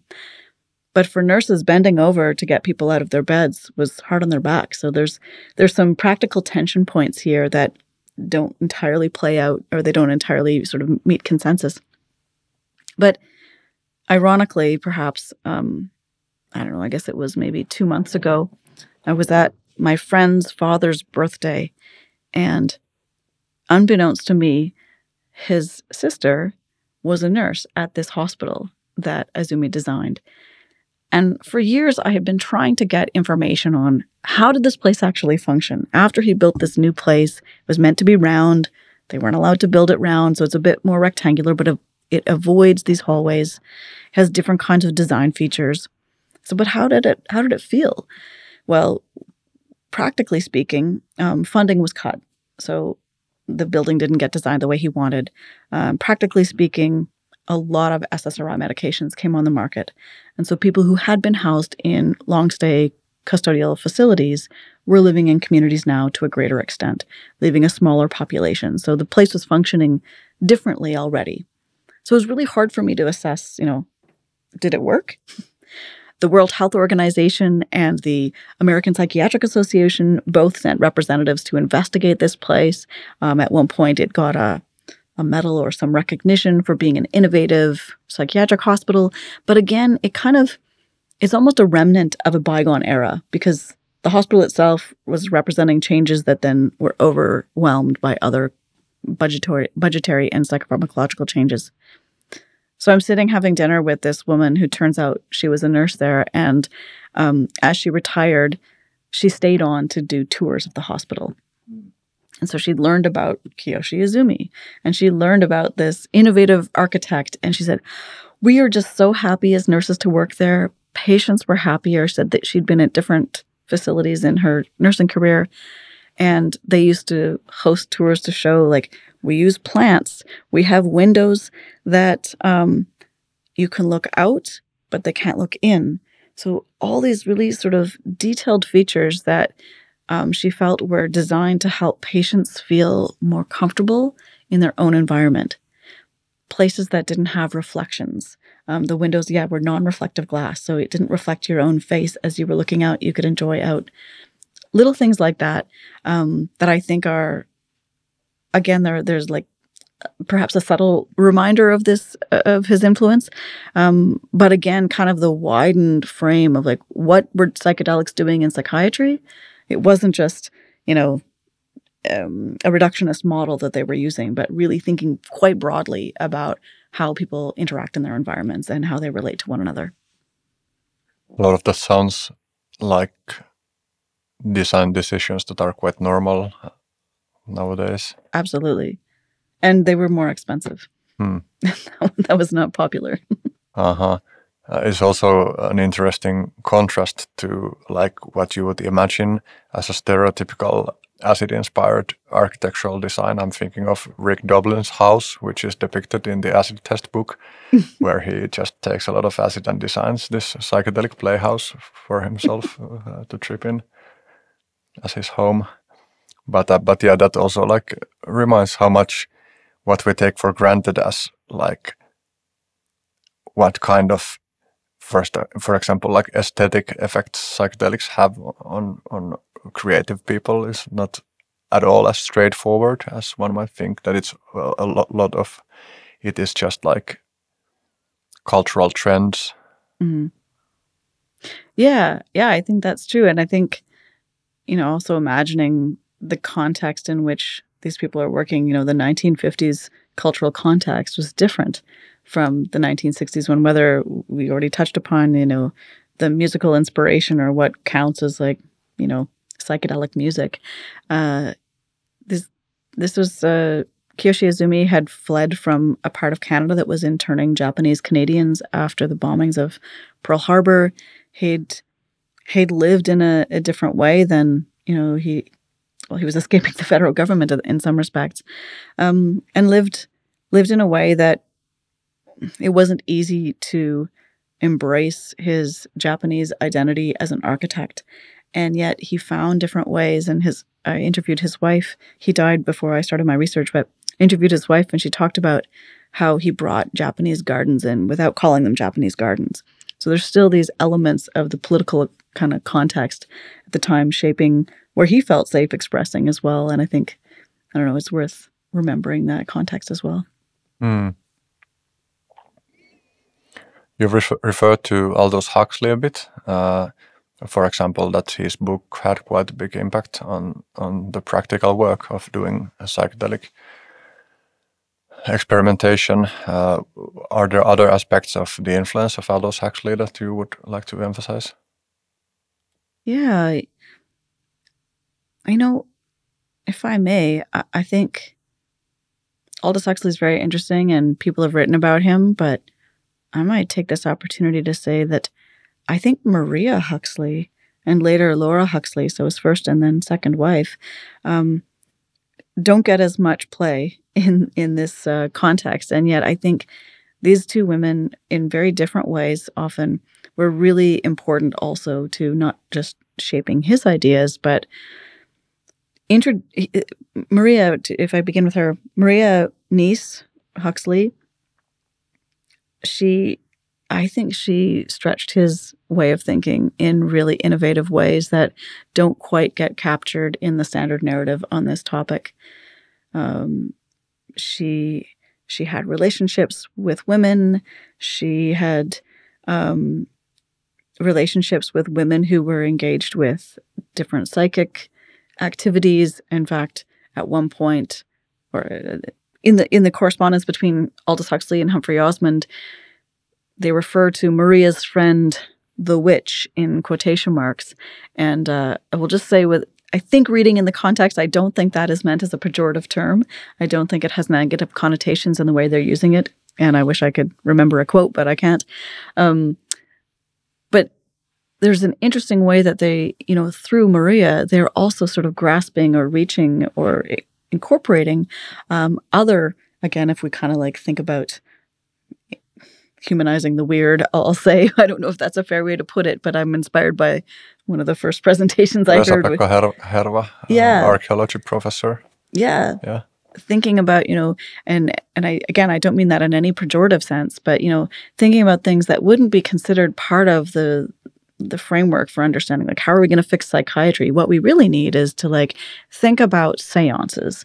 And we need you know to go and play bridge with this woman and her friend the witch um, and have tea with them. And you know like these are the kinds of things that they were doing. Or go to the navajo reservation which maria and aldous visited and develop friendships with some of these people. And again these are some erudite British accented, you know, they seem pretty elitist in many respects. And when you kind of think about some of the people they had to their houses for dinner parties or, you know, went on family vacations with, is very fascinating to me to think about the the sort of wide network of influences. And again, it may not be you know with the internet we can even widen that more more easily perhaps um, but i'm i'm quite impressed i think with the degree to which they entertain different ideas and seem to really take them seriously. And I think Maria is really critical to bringing in some, of, especially some of these women, into this context who furnished these conversations with uh, different terminology, different vocabulary, and different ways of thinking about consciousness um, by embracing that kind of otherworldly, psychic. Um, I don't even know what words to put on it exactly, but pushing outside of the kind of you know western orthodoxy when we think about like the scientific frame or even aldous huxley's very elitist education. And you know his his grandfather was apparently you know charles darwin's bulldog one of his close friends you know this very sort of long list of celebrated biologists in his family including his brother.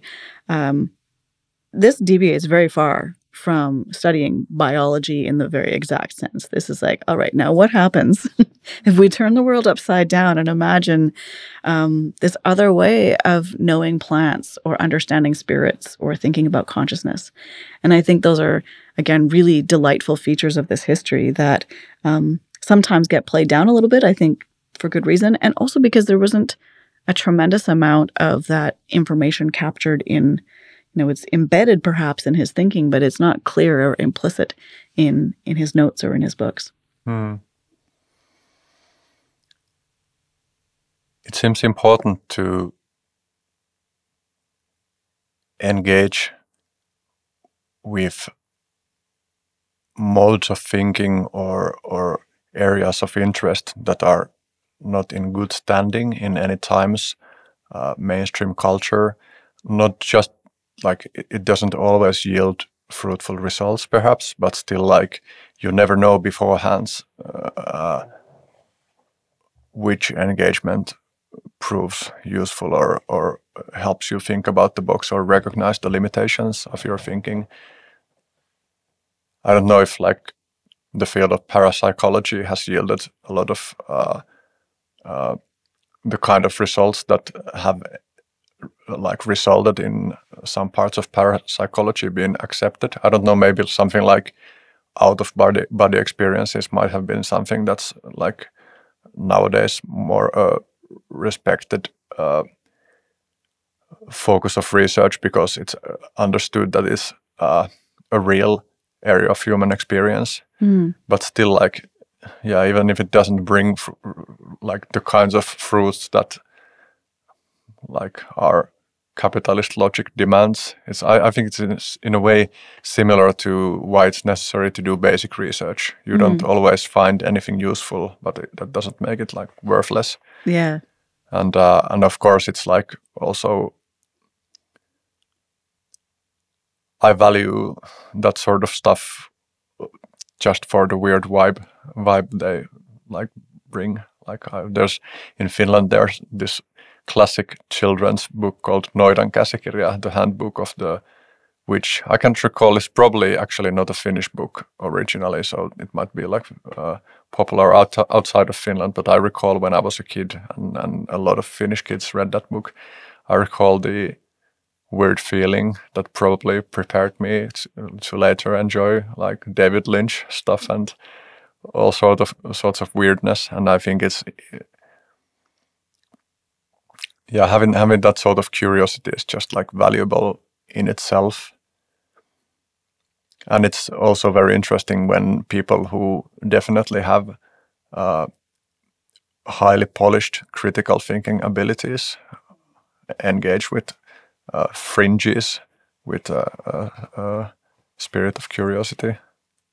Yeah, I mean, to me, that is, and perhaps because I've spent so much of my professional career mucking around in these sort of texts, that that is so much a, to me what is at stake with psychedelics is that you know curiosity about the fringes or if i'm um, uh, summarizing that correctly it's it's so much alive in the work of these early investigators, um, and I I really love that spirit. I, I think that's such a an important an important sort of spirit of curiosity that is required you know always um, and sometimes it seems even more that we are in more desperate need of that as a sort of you know a moment in human history uh, and that's i guess that's why i I uh, associate the this psychedelic moment with hopefully a kind of, or sorry, that is why I see psychedelics today as representing hope.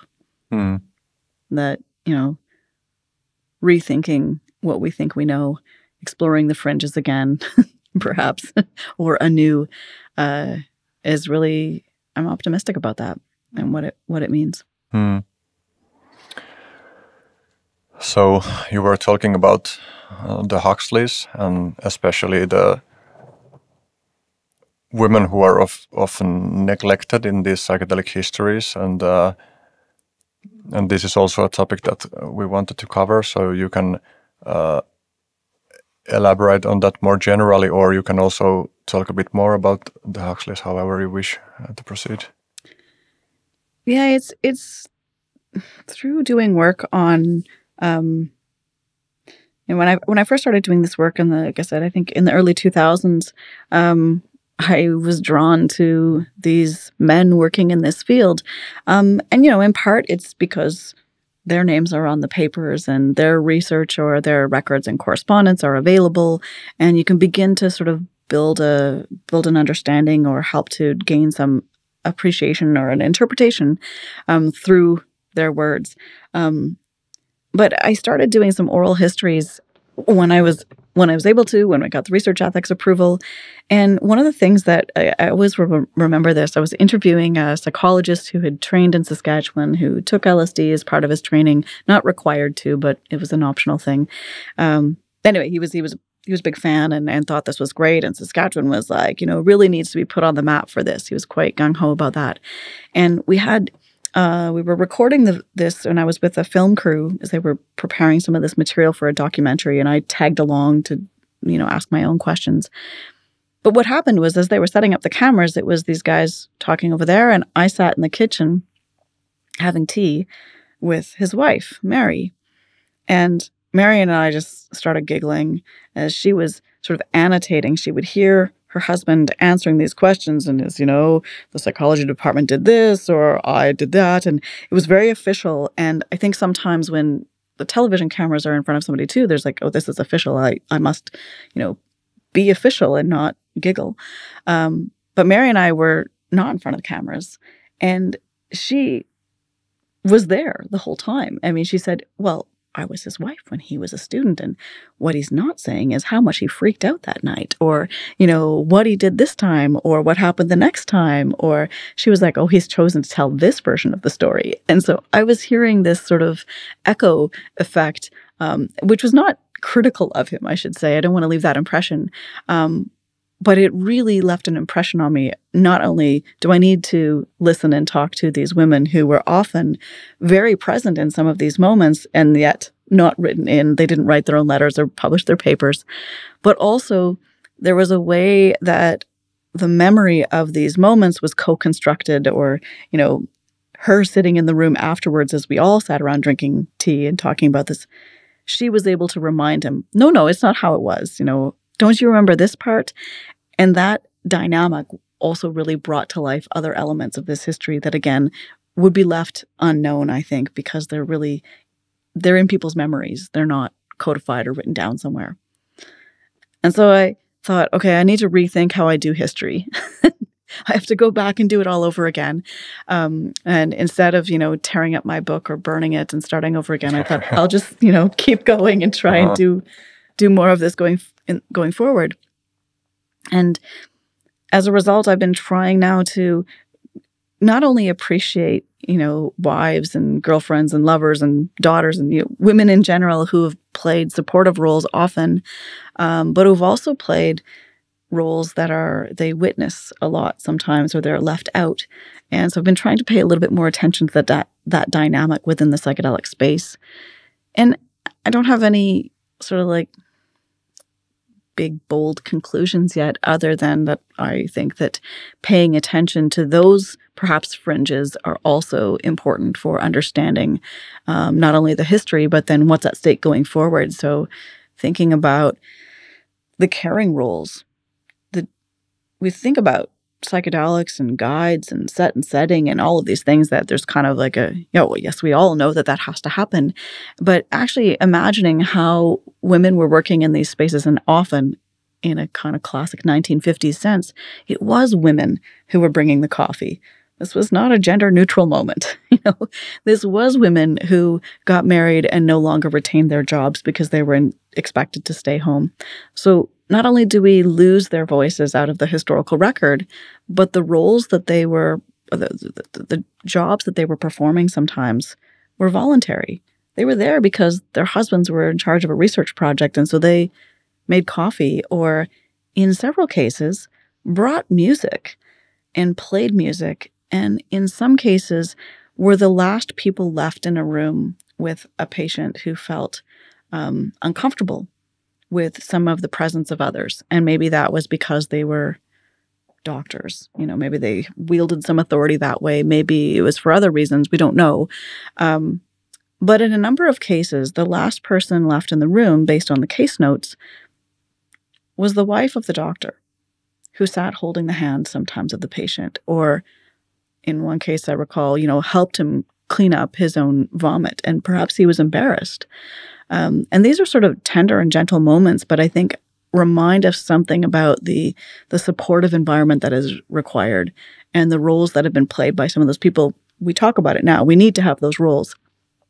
But I think even those sort of minor roles sometimes that are taken for granted are something that become really profound and really important as we read back through those case files or we understand, you know, that this minor player in some respects was actually of major significance in someone's experience. You know, someone who continued to provide support even as they felt vulnerable or exposed in some ways, you know, feeling sick in front of someone. People talk about the embarrassment they felt.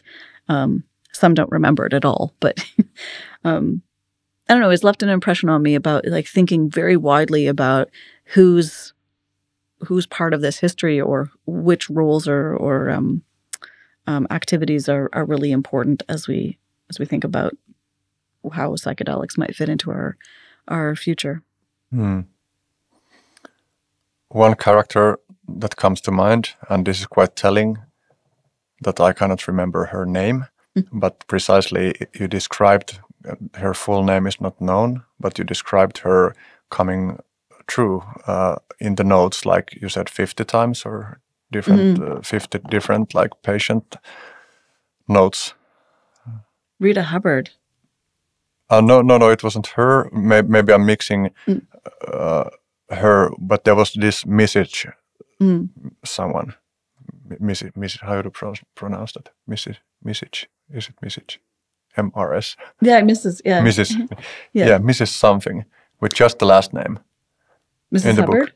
No, no, no, no. Mm. It wasn't. Because uh, because I, I recall you referring to someone who appeared in many of those notes, and it wasn't known who this person is. I and occasionally. Mm-hmm. I don't recall exactly uh, who the Mrs. is, but I know I've done we've been trying to pull together different case reports and I've I've done a bunch of different, you know, keyword searches to mm-hmm. find. And there are a number of times that uh, we don't even I can't even con- confidently say these are one misses, these are multiple misses. Mm-hmm. Um, the misses change because um, sometimes their first names are used, and so I can't even confidently put that into verifiable categories to say, you know, this woman was here 50 times, but sometimes just misses was used uh-huh. multiple times as well. Um, and you know, are continuing to grow this database. So I hope those those numbers may even change further. Um, but it is true that there's a almost a process of making those contributions invisible. And I don't think it was necessarily done out of malice. You know, it wasn't, you know, because they didn't like these women or something. It just wasn't considered important. And and anyway, that that's the takeaway message that I'm trying to draw from this and and and remind myself that you know I need to be inclusive in in who I want to include in the histories, but also who I ask for their memories, and um, that becomes more and more fragile as a historian. You know, you move further and further away from the subject, and um, those memories are quite precious. Hmm. Well, now that you mentioned mentioned Rita Hubbard, maybe we can bring in her and Al Hubbard. Mm. Who were they and what was their relevance to this story? Yeah, if, if any of your listeners have read Michael Pollan's um, How to Change Your Mind, Al Hubbard is a colorful character who appears in his book as the Johnny Appleseed of acid. And he is indeed, I think, an enigmatic figure. He's he's um let's say I've been trying to track him down in various ways over 20 years, and I have seen lots of documents, and I am not sure how to interpret um, his sort of, you know, what would be his authentic historical contribution. And I say that because this guy is a story, he's such a character. I mean, he was in the 1930s and 40s, or sorry, 40s, I believe, um, he was a double agent in the United States. He was a rum runner.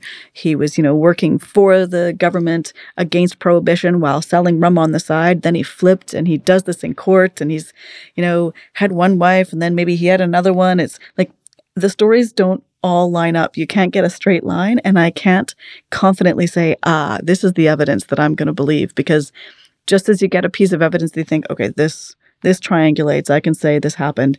Then something else happens. You're like, how could he have been in two places at once? so the guy is a really sort of slippery historical figure, and yet there's something really exciting about that kind of character to, to track through history as well, because he shows up in a variety of places. Now, we know that he had lots of connections. He also had a lot of enemies because um, he flipped on the authorities a few times.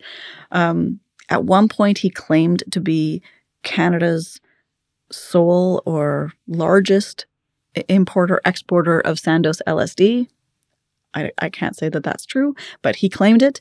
He also at one point earned a PhD by paying for it. And so for the first year or so, he would sign his name and put in quotation marks PhD or doctor in quotation marks. It clearly was a scam. It wasn't a real, or he didn't qualify with some kind of exam. He just paid a place to give him a certificate. So this is the kind of character you're dealing with. So with that huge caveat as to I don't know what's true, um, there is an interesting story I think about Al Hubbard not only being this very ambitious distributor of LSD, but he was also a purveyor of of different kinds of ideas about what we should do with LSD. So he allegedly he you know walked around with a handgun on his hip um, and had a carbogen tank, and he suggested that you know before anyone take LSD, they should have a huff of carbogen to see how they would do. And if they had a bad time, then they shouldn't take the LSD. Now, a lot of people said, stop doing this. but he persisted. Um, he also did things like brought strobe lights into the um, testing facility where, for a time, he was working at a place called Hollywood Hospital, which is um, actually not in California. It's in Vancouver, British Columbia. And uh, many people said, Get that thing out of here. And he kept saying, Well, maybe this time they'll like the strobe light. And no, people did not like the strobe light. He's associated with changing the music in the setting and really sort of bringing different elements into the setting. And I, I think now, after going through the archival records, I think his wife deserves more of that attribution than he does in some respects. But it is true. I mean, he he brought in the the rose, which is still used. I know Johns Hopkins is still using the rose, and this allegedly is an Al Hubbard intervention. He was also deeply Catholic. And I don't even entirely know what to make of that, other than that, like the strobe light, he kind of insisted on trying to bring not a mystical experience, but very, very much a sort of um, organized around Catholic principles experience. And this again was something that a lot of people resisted and rejected. And in fact, some patients really recoiled at that suggestion that you should have anything resembling, you know, a recognizable Catholic iconography in the room. And some talk about, you know, um, confrontations with the Catholic Church in their past that left them quite upset. Um, it reminded them of past trauma or their parents or different things that were unwanted memories that were sort of forced into that context. Um, so he's he's tricky. And one other thing I'll say on on Al Hubbard that I think people like Humphry Osmond and and um, Aldous Huxley, who I've mentioned, I, I think are like quite open minded about these things. At first, they were like, this guy could be really great, or he could be a disaster. and initially, they they defend him they allow him to come into this context. They correspond with him. He's, of course, distributing supplies. He's in Peru at one point. He's in France. He's bringing people and substances from all different places. But then they discover that he has not only been faking his credentials, which they knew uh, uh, of his having a PhD, but he's also been working with some. I don't even think that these are underground distributors. These are companies that are selling products that they claim to be D-lysergic acid, and um, they're quite unstable and they're causing some untoward results. And I don't know the extent of those kinds of results, other than to say we've decided that we are going to break ties with this guy because he's distributing supplies that are not good. Um, Hoffer at one point says, you know, he sent me some supplies as supplies were drying up. Uh, Sandoz pulled back on their supplies in 1962 and they turned green. I said, don't tell everybody not to take these. You know, we don't know what this green acid is. Uh, we don't even know if it's acid. And so there are these different things that made him actually quite difficult to get along with as well. And it caused some real tension in the relationships. So again, depending on which part of the history you capture him in, he's this sort of fascinating character, but he's also really problematic. And, you know, had he lived a little longer, had the television cameras caught up with him, he might have had more of a leery personality. Um, but I think partly the timing was such that um, he really, his stories remain within local newspapers more so than in the kind of national press. Um, but yeah, that's Al Hubbard. And uh, as we we finished a book a couple of years ago about the the Hollywood Hospital, and as we were taking it to press, it was literally going to the printers. I think that week, I got a phone call from a friend who said uh, they found Al Hubbard's house on this island in um, British Columbia, and they're tearing it down. Okay, cool. They found records in the walls. so we stopped the presses. We had to investigate these these records before we could send this book to the printers. And it was just sort of like to me, it was just such a symbolic reminder of this really difficult to pin down guy who is probably really important in the history of psychedelics, um, but also is highly problematic in so many ways. And it's one of those cautionary tales. And I think this comes up a lot in conversations about psychedelics. You know, how do we make sure that we don't have any of those characters who might take things off the rails? And I don't know where the rails are pointed right now, but I think some of those kinds of characters are inevitable in life, and their intersection with psychedelics is perhaps problematic, but um, but they, this history is littered with those kinds of figures. Mm. And did those papers yield interesting results up to now? A, a little bit. It was about supplies again. Um, they weren't, you know, it didn't fundamentally change the way mm-hmm. we we had to write the book or anything, but we did we did make a few uh, adjustments as it it led to different supplies. He'd been going around with a suitcase with crystal chalices in it, which he had put LSD into these crystal chalices to try to bring some additional pageantry to the to the context. Mm.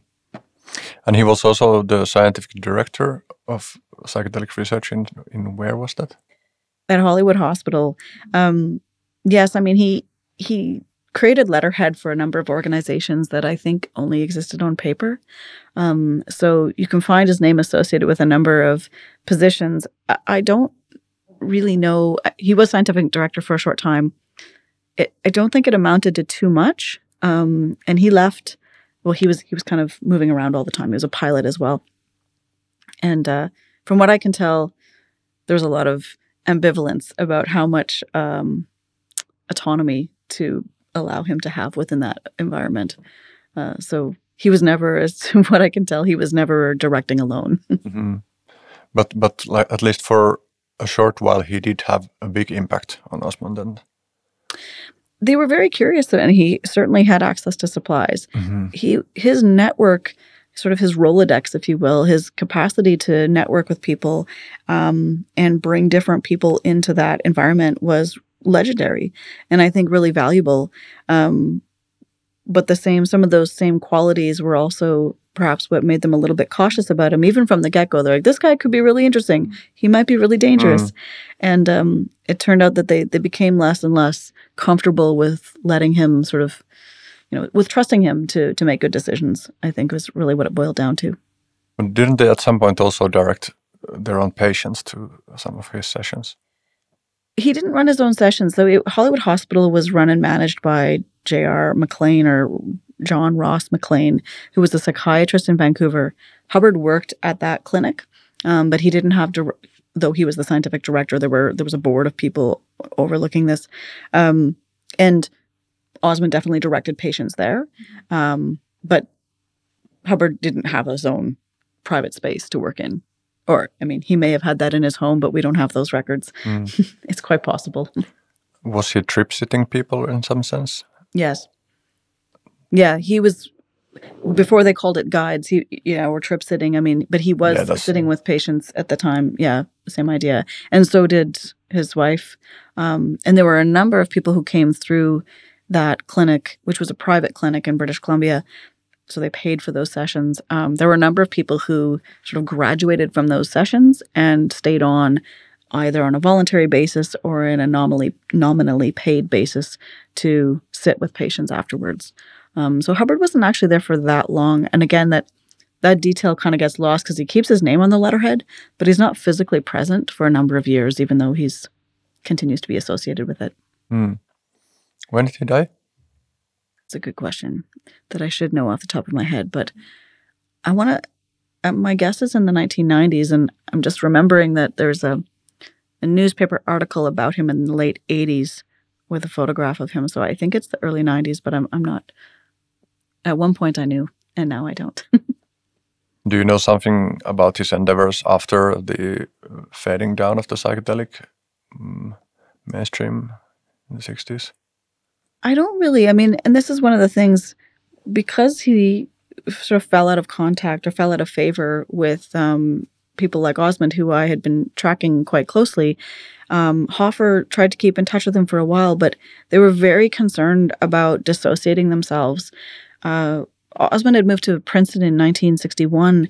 Uh, Hoffer remained in Saskatchewan, and their attempts to retain what they describe as, you know, to retain any kind of credibility in the psychedelic space or in the scientific space, even more so, um, was really challenging. They faced a lot of pressure from government and internal pressure from within the profession. And associating with Hubbard at that time was quite risky for them. And I think they they didn't uh, encourage that relationship any further. Um, and I think they were fighting battles on a number of fronts at that time, and perhaps also just you know that letter just didn't get sent. Um, but but they weren't seeking out a continued relationship by the late 1960s for sure. Mm. Well, we alluded to the fact that uh, as the 60s went on, the research eventually started winding down. And uh, one person who is interesting uh, around this progression is Sidney Cohen. So maybe you could talk a bit about him, how he started got started with with psychedelic uh, therapy research and uh, where he ended up, or where where his thinking and, and attitude ended up. Yeah, I I don't know as much about him as I as I should. Um, but what I understand is, I mean, he's a really important figure in this space, in part because he's a curious LSD research, psychedelic researcher, but again, mostly looking at LSD in the beginning. Um, and he publishes a paper in 1961, uh, well, it's two papers, in fact, which starts to introduce the idea of some negative side effects. Um, and it's taken very seriously. And this paper, I think, you know, some of the people who are sort of within the psychedelic research environment, um, they don't really quibble with the paper initially. The first, the first issue. Um, yes, there, you know, sometimes there are lingering effects, um, but later on, this paper gets kind of pulled out by uh, particularly uh, American authorities who recognize it as they knew that there were bad things happening. And Cohen, it seems himself, is somewhat troubled and a bit ambivalent about this. That, you know, he wasn't trying to blow the whistle on psychedelic research. He was doing good science. And good science often means, you know, you report what you see, you report the results. So he wasn't uh, dogmatic or ideological in what he was bringing forward. And a number of the psychedelic researchers took that paper quite seriously. As I understand, you know, the, the concerns about what later gets called flashbacks, but um, he describes it as this sort of persistent and unwanted, even uh, untriggered revisiting of the ac- acute phase of the substance. I'm trying to remember the I don't remember the exact language, but it sounds quite clinical. Um, and also a kind of um, a malaise that can sometimes follow for, and persist for days following the you know sort of eight hour event. Um, and there were a number of conferences held in the wake, not just of his paper, but at that time saying, you know, look, what are you else, what, what are others experiencing or what are you seeing in your clinics? And there was some growing concern that some of these symptoms or some of these side effects, rather, needed to be studied more carefully and taken more seriously. And I think, I think those are really, you know, in the, in the main kind of, if psychedelics didn't become what they were, um, it would be kind of a benign um, intervention. You know, it's important and it may help to improve things. But I think the paper and its subsequent, uh, the next publication, which was a little bit more damning, it had more case reports. So there were specific examples of people who had had um, untoward effects. And that became a kind of rallying cry for the there's a growing momentum of anti psychedelics. So both within the psychiatry profession itself, and then ultimately from other more legal authorities who were looking for examples of research to say like these are bad. And, we know if we fast forward to say 1967, there were a number of reports that came out in 1967 through 69 claiming that LSD caused chromosomal defects. So, you know, these are birth defects that were going to be caused by taking LSD, or that You know, later there's a report that MDMA would put holes in your brain. Now, these made tremendous news headlines. Um, and again, these are these kind of nails in the coffin of psychedelic research. And of course, researchers later rejected this and, and looked into it and said, like, these were fabricated stories. But Cohen's was not fabricated. Cohen's relied on empirical research and and I think continued to sort of feed that um, feed the momentum of the anti-psychedelic folks. And and I I feel sort of bad for him. It seems that he was a bit ambivalent about it. I know there were a number of letters that he wrote to Humphry Osmond, sort of saying like, I wasn't trying to stir the pot. I was, you know, trying to reliably report evidence. Um, and yeah, I think it's been taken out of context a little bit. Mm. I got the impression that he was uh, even like before he started being cautious that he was more positive at first, mm. and also that after that uh, still positive but critical phase that he started turning against like the whole idea. Is my understanding correct? I I I need to know more about him, but that is that is my impression as well. But relying on other other people's work, I haven't read his papers or mm-hmm. or studied his archive, so I'd yeah, I'll defer to. mm-hmm.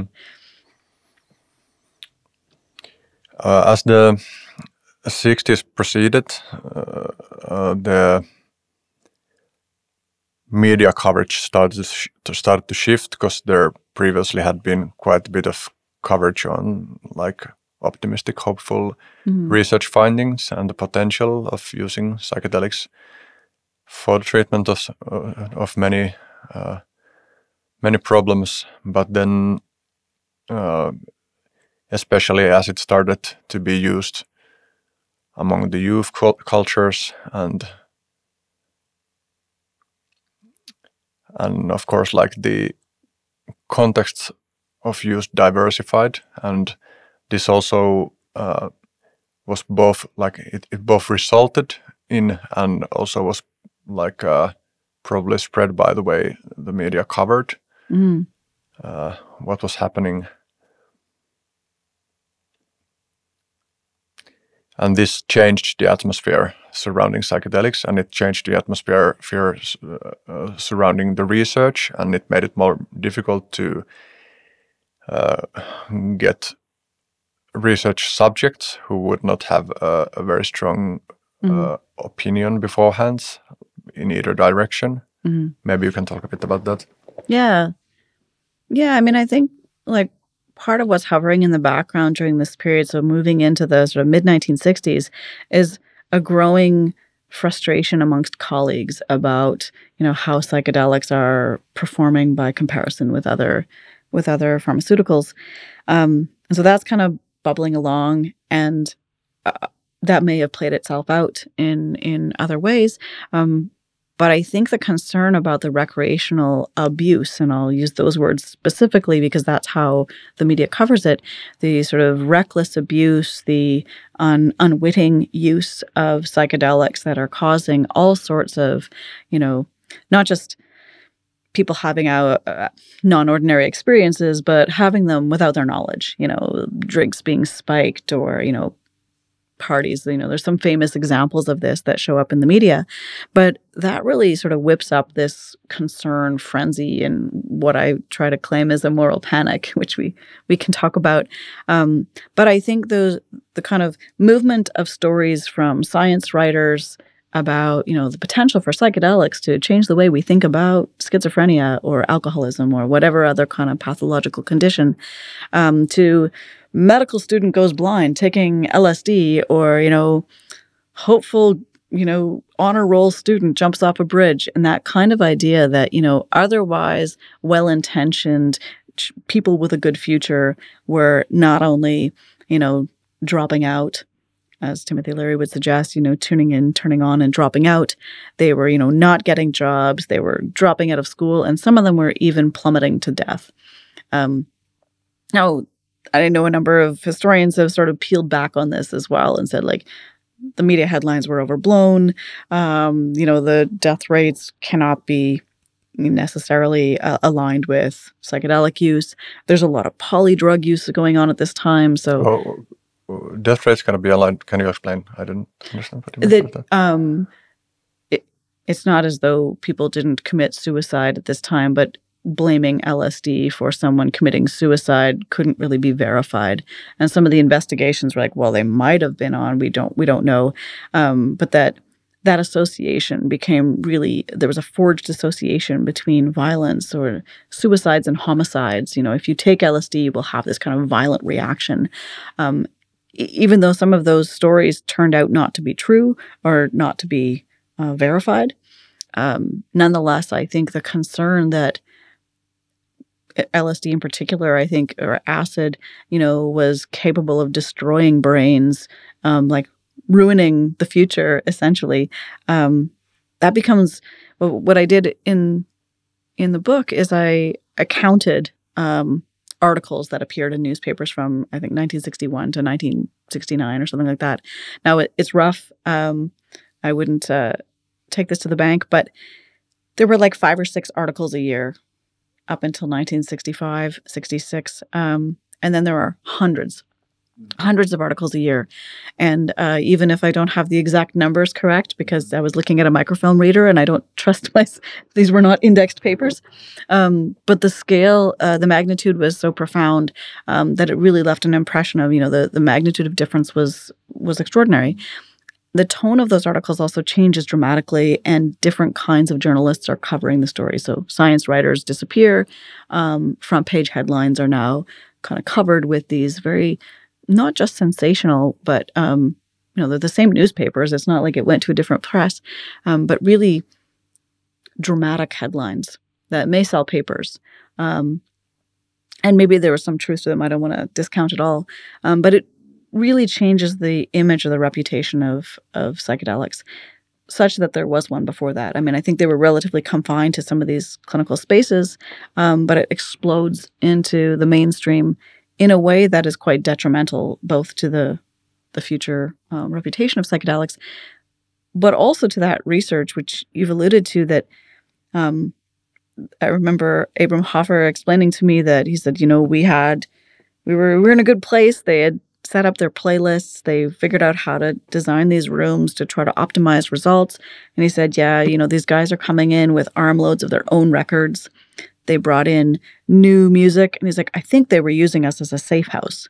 You know, so people were now coming in to get Sandoz LSD, which was only uh, then permitted to these medical researchers. Um, and they brought in their own records. And he said, I don't think it was their first time. you know, so mm-hmm and that some of them would be frustrated if they didn't have what they describe as a full-blown psychedelic experience. Mm-hmm. and so what hoffer said is you know that this is this really confounded their capacity to measure kind of naive drug reactions or frank reactions. Um, and and there was a lot of heat he said and others confirmed uh, from colleagues mm-hmm. who thought that you know psychedelic researchers were part of you know they were kind of a joke they were no longer treating something that was considered important, mm-hmm. um, but they were, you know, fueling the youth in their desire to party or be hedonistic about these kinds of things. And that cleavage, I think, is really it's framed as a black and white cleavage in the media reporting, which of course I think is is more complex. Um, but nonetheless, I think the relationship between the the growing hype about psychedelics causing a revolution or causing people to drop out of mainstream society was sufficient to undermine some of the scientific research that was taking place. Mm. I find myself thinking about the terms um, that are used uh, to describe very often the the kind of media coverage that psychedelics uh, were being described described with, and uh, for example, the term moral panic. Mm. Uh, what is a moral panic? How do you define that? Yeah, it's a good question from a, a book that I wrote so many years ago. Uh-huh. I remember searching for a concept to try to understand what was happening and whether that was an appropriate term to use. And I went to um, I think the book is by Stuart Hall, who helps to define, is a sociologist who helps to define moral panic. and I wish that uh, I wish that I had a better memory and um, could remember precisely what he said. I remember being convinced by his argument. Um, but I think you know, in this context, or at least the way that I was trying to understand it was, um, the reaction sort of becomes untethered from empirical evidence, and it becomes part of the ether of the part of the sort of um, cultural response to this situation I don't know. I mean, there are a couple of other um, scholars, mostly sociologists, who've written about moral panics and talk about it sometimes in the context of, you know, like terrorism, for example. Um, talk about it in in the context of um, sometimes kind of racial injustices as well, where there's like a a kind of um, cultural fear against someone else. And so I was trying to understand whether you could apply that same theory or that same concept to a fear about the capacity for these substances to change people's behavior such that they would either be not recognizable, not predictable, you know, that it would somehow um, induce that kind of fear at a cultural level. Um, so again, it kind of lifts away from the empirical evidence that might be provided to say, like, this person took this substance and produced this or had this reaction, um, but just the fear itself of you know um, acid becoming, and I'll use the word acid because that's the word that kind of gets catapulted into the media at this time, that it has the capacity to. Um, it could get into our water supplies. It could get, you know, that that kind of um, out of proportion with reality, almost uh, fear that changes its reputation and produces a kind of moral stance against the drug itself. Um, and I don't know if that's a convincing mm-hmm. argument. And uh, yeah, had I known you were going to ask that question, I might have like reminded myself and read those sociological texts ahead of time. but I remember being convinced of them at the time, and um, and I'm not sure if it's I'm not sure if it's the right concept to use. Um, I, I couldn't I was really sort of grasping for something that would help to make sense of, you know, how can how can this have galvanized a, a reaction to something? You know, how did it create a kind of cultural moment that it, like I said, sort of relied on stereotypes to cleave a nation into generations, which is not true. I mean, Timothy Leary was not that young when he was recommending people take um, psychedelics it isn't as simple as creating these kinds of binary um, conditions that were used to amplify the tension, I think, between generations, or you know, those who take psychedelics and those who don't, or just say no, and, you know, as these really black and white kind of definitions of good and bad behavior that I think kind of lend themselves to moralizing. Um, but I think in terms of the media representations, it's t- tended to fit. I don't know if that. Mm. I find myself thinking like the delineation between a moral panic and genuine moral concern. Mm-hmm. How do you distinguish between those? Yeah, I mean, I feel like for me, the the panic element um, distinguishes it from concern by sort of prompting people to act. So forming parents associations that say we need to like you know change our school policies on on things. So there were there were a number of schools that started distributing um, literature about you know not taking drugs or uh, not taking specific kinds of drugs. And there's some kind of like almost I find sort of hilariously ironic uh, messaging that comes out, particularly like even more so in the 1980s than in the 1970s. But um, you know, these drugs are bad. People who sell these drugs are bad, and they're dressed in sinister, cartoonish kind of clothing. Um, and you know, you need to be on the lookout for this bad stuff. Um, meanwhile, in the same, sometimes these are in magazines, and the same magazines are promoting smoking and drinking alcohol. And so this kind of moral association with, you know, not just bad drugs, but bad people who take them and may suggest you use them too, um, does not apply evenly to these other kinds of psychoactive substances that are flowing even more freely, perhaps, than ever before. And I think that that hypocrisy also maybe kind of landed on me or it sort of stuck with me as I'm again, I was I started off looking at how does this fit into the history of psychiatry, and I'm like, okay, so pharmaceuticals are coming out with more regularity and making more money than ever before in human history. And these ones are bad. Alcohol is being sold, you know, tobacco is being promoted. And and I couldn't I couldn't get past the the contradictions that existed there. And perhaps that's me then being even heavy-handed in my in my characterization of it. But i think the panic was you know partially born out of that hypocrisy. And like we need to do something about this. We need to get films out. We need schools on board. We need you know government action. The un had a con- a convention to say what are we going to do about this? And you create this scheduled list. I mean i think that to me is is indicative of some kind of panic of some you know concern might be more measured, it might be slow. This happened quite quickly and with bold strides, um, and some of which have not fundamentally been revisited until the last 10 years. Mm. I find myself thinking about the rate of transformation that psychedelics facilitate mm. and thinking about them in the context of the early 60s or, or, or even late 60s, there's been nothing in our culture that's even remotely similar to them, to psychedelics.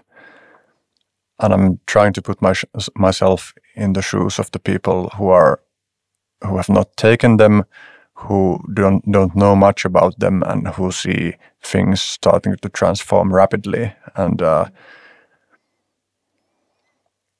and I can emphasize with the the feeling that something needs to be done at, in that situation. And uh, when I'm thinking, because I expressed the term moral concern, I can understand also that uh, what like Timothy Leary crystallized in his slogan, mm. uh, suggested by Marshall McLuhan, I think, turn yeah. on, tune in, drop out. Um, I think it's hard to to draw the line between like when that is healthy and fruitful, like just like stepping out of the norms of society, uh, and when it's actually like either in some sense pathological or escapist. Well, of course, escapism is also like it's who am I to morally judge someone else's escapism? But but but still, I feel that there's some area of concern where it's actually like uh, warranted uh, to to to have like strong reactions to to quick quick transformations that uh, shake the foundations of whatever structures uh, like the normal life is built upon. And even though I I do personally think that we've been for uh, I don't know how long for the last century at least we've been in, in a situation where we do actually need uh, rapid transformations in order to make our lifestyle sustainable at all or mm-hmm. survivable mm. at all it's still understandable that when there's that sort of upheaval that the psychedelics, uh, if not caused, at least like played a part in in the 60s, it's like very understandable that people in all times when when things start sh- sh- shaking up because there's no guarantee where the transformation or revolution or whatever it is uh, that's mm-hmm. happening will lead so yeah i, I think it, you're absolutely right and i I think this question about the, you know, I was going to say, you know, the the context of these swift actions are also not, you know, a handful or even even hundreds or thousands of people at a Grateful Dead concert. And, you know, Richard Nixon is just like, that's enough. I can't take any more Jerry Garcia. I mean, it, it wasn't that. Um, I think that, you know, drugs in general um, that fall onto the bad side of you know the black and white good and dr- bad drugs. Um, drugs that are associated with whether fairly or not with protest marches with you know there's a whole lot of social justice activism that was really exploding particularly in, in the united states and very much televised. Um, and it's not you know there were other uh, protest marches. I think of you know 1968 being a pivotal year. You know the Soviets were moving into Czechoslovakia. Um, France was riding with labor strikes. There were a lot of different kinds of expressions of civil unrest, and I think uh, it's really difficult to. I, you say being in the shoes of someone who hasn't taken psychedelics. I was going to say I can't imagine being in the shoes of Richard Nixon for like so many reasons. but if you're if you're in in command, so to speak, and there are civil rights marches throughout your country, there are feminist marches, there's gay liberation movements, um, and anti-Vietnam War, which seems perhaps could be interpreted as like a direct affront to a state who is trying to express itself. You know, I, am trying to be sympathetic here, but I think that that kind of um, protest movement, and and you see it sort of ricocheting around the world. Brazil is in a dictatorship; they have people marching in the streets. You know, there are a number of different places that are really um, there's a lot of civil unrest, but it's really difficult to, I think, find a neat way to quell that moment.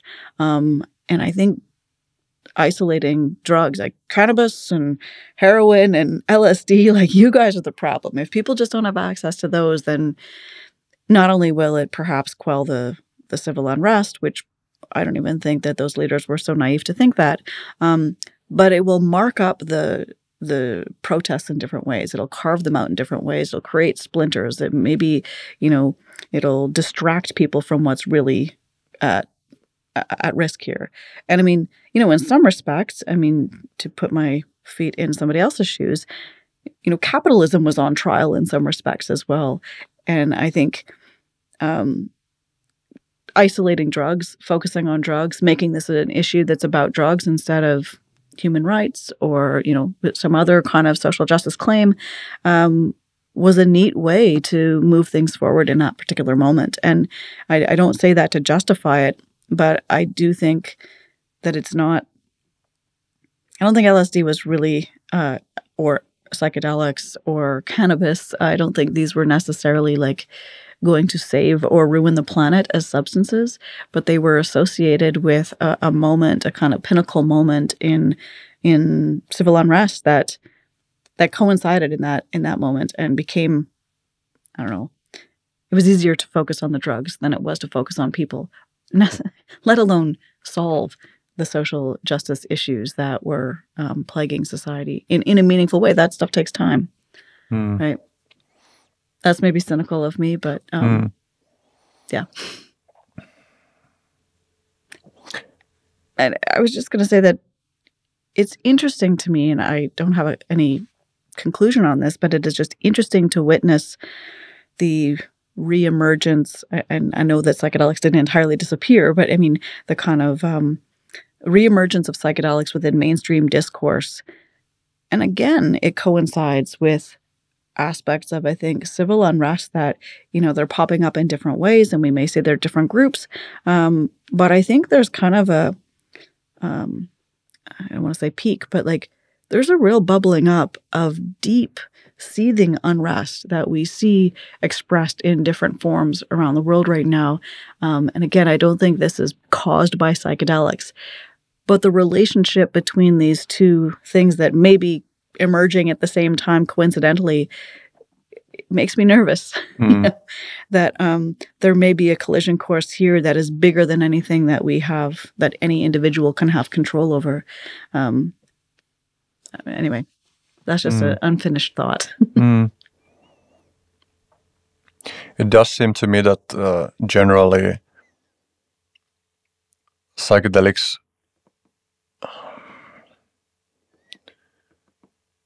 tend to increase the amount of weirdness in, in people's behavior and uh, expression. Mm. And uh, weirdness here can just mean something that differs from the norms and uh, it seems to increase the diversity of the ways in which people are in this world because the stereotypical image is that when people take psychedelics then they grow dreadlocks and start wearing funny clothes which is which is a part of what happens, but that's also like uh, as I think I referred to earlier, just also partly a cultural trend that is associated associated with a particular uh, subculture or something, and and in, re in reality the the range of directions that psychedelics can I don't know if push is the correct word, but but let me use that here push people towards is uh, uh, is wide and um, hard to predict. And it might be that occasionally, even though psychedelics might might shake people's convictions up, they might also end up um, strengthening already existing convictions. And it's it's mm. interesting to see that because they've been envisioned as uh, something that's very connected with left wing.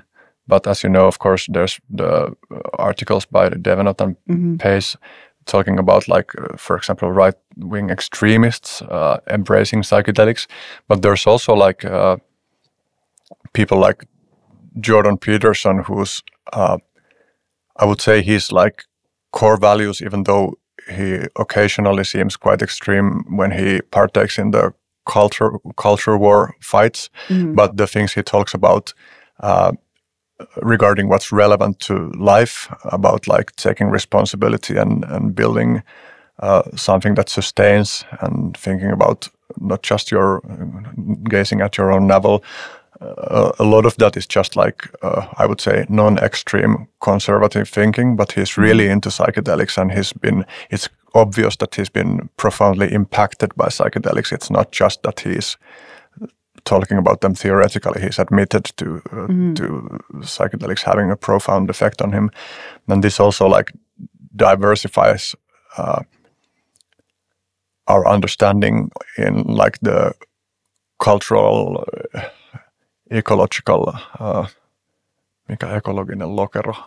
What's the word that I'm looking for? Niche. Yeah. Uh, of of psychedelics, and uh, it makes it obvious that they are far more unpredictable than we've used to thinking. Yeah, you know, I think that's a fascinating point, and I'm struck by what the last 10 or 12, I'll say, years ish, because um, I, I, don't see this tagged to a particular paper or event, but the kind of thawing that has taken place about how much we can talk about psychedelics and who's allowed to talk about psychedelics. And it's very interesting to me to see major psychedelic conferences bringing out celebrities, you know, people who were not expected to think. I, I believe, you know, they they weren't wearing tie dye shirts, or you know, I haven't seen them pictured with, you know, dreadlocks. Um, you know, athletes and singers and like Aaron Rodgers, right? Exactly. the psychedelic um, science conference, yeah, and Mike Tyson on Joe, you know. But I think you know the I think the diversity of consumers of psychedelics, if I can call it that, or people who've taken them at least, and maybe consume means more than once. Anyway, I think that there's probably much more diversity than we've been led to believe is, is one thing.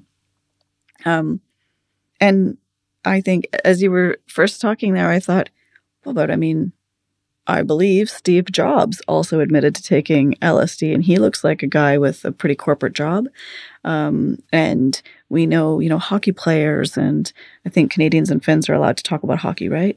Um, we won't talk about American football, but hockey players have taken psychedelics and only much later in their lives, in some cases, admitted to having taken it and saying it was good.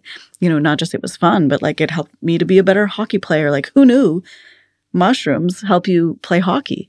Um, so even though there are people who don't stereotypically look like hippies, um, Michel Foucault. I mean, the, all these books that are coming out now about Foucault and his his uh, that guy definitely did not have dreadlocks. Um, now we might want to associate him with the left, but his ways of thinking differently about the world, I think we would all argue um, or agree, didn't start with psychedelics it may have continued to enhance, you know, more along the Pace and Devenot argument that it may, you know, reinforce certain convictions that one already has rather than um, fundamentally change from one recognized conviction to something completely opposite. And I, I think you're right. I think that who's, I guess, the way I think about it is whose stories get told or who gets to be the kind of ambassador or avatar for this psychedelic moment. And that will depend a lot on things that have very little to do with psychedelics, perhaps. Or I will argue that it may have more to do with different kinds of really quite boring and traditional forms of privilege. like, you know, it may be region and gender and uh, you know, race and all of these other things that kind of boil down to like very basic forms of privilege that we can recognize throughout history as, you know, having some kind of currency. Um, but when certain people talk about, openly talk about the value of psychedelics improving their lives or changing their perspective, um, it carries a lot more weight than you know, a few people who go to a festival and might put feathers in their hair, you know, we don't listen to them as much. Or I say sort of collectively, they don't have the same voices or the same microphones available to them. And um, I don't know what that means for the future, but I wanted to just make this one point is that one of the things that I think is really different about today's psychedelic movement as compared to the 1950s is the digital space that we all exist in the the access to digital technology and the capacity to amplify voices and to change the way we tell those kinds of stories. So privilege might change a little bit in that space maybe or maybe doesn't. Um, but the you know if if i'm the only person in my community who's ever taken psychedelics i might not talk about it. But if i can go online and find other like-minded i can i can imagine a kind of consensus emerging or imagine a community uh, or even be part of a community that exists in a different way than one that was available when you had to write letters and wait for you know wait for the slow communication. I think that has the potential to change the way that psychedelic momentum or psychedelic capital may move through this space and and also how we make sense of it how we track it. Um, you know, it's fascinating to me that I'm I'm here in Finland talking to you, and um, it's a pretty privileged opportunity to actually meet face to face to talk about these things. But you know, for us, we we've already spoken about this online on whatever whatever digital platform it was, um, and I think that is going to change the way that we can communicate with one another um, and build that kind of momentum as well. That I don't know if it's going to compete with traditional privilege I don't know. Future historians have to figure that out. But um, but I think it's a dynamic that is is is something to be considered as we imagine how how capital, I mean social capital, sort of accumulates in this space. Mm. I don't know if that makes sense. Yeah, it's a. Uh, it's like a skyscraper uh, sized topic. yeah. Uh, that would take like three hours to dissect. so I'm not sure like how deep, because because I'm already like thinking about larger societal and technological contexts in which this is embedded. Of course, which you alluded to too, but maybe we don't have time to go there. Um, but one thing related to this is that. Uh, which is at least partly what you were already talking about here, is that um, when we talk about drug education, for example, that the state creates, that has lost its credibility. Uh, uh, I don't know if there ever ever was very strong credibility, but at least like after the 60s, there was a time when the messaging that was put out was not easy to challenge publicly because we still lived in the time of broadcast media controlled by just a couple of big organizations. And uh, you've talked about how this might be changing due to the internet because mm, people don't need to go through a gatekeeper I'm still interested in like uh, whether the current institutions that we do have um, are they thing, what, what are the kinds of things they can do not to make people trust them because I don't think people should trust institutions. I think uh, institutions should aim to be trustworthy and if that ends up people trusting them, then it's maybe deserved. But what do you think, like uh, institutions should or might do in order to really be more trustworthy when it comes to talking about drugs or psychedelics in particular? I feel in some ways like that's another skyscraper sized mm-hmm. question, or at least as I imagine it.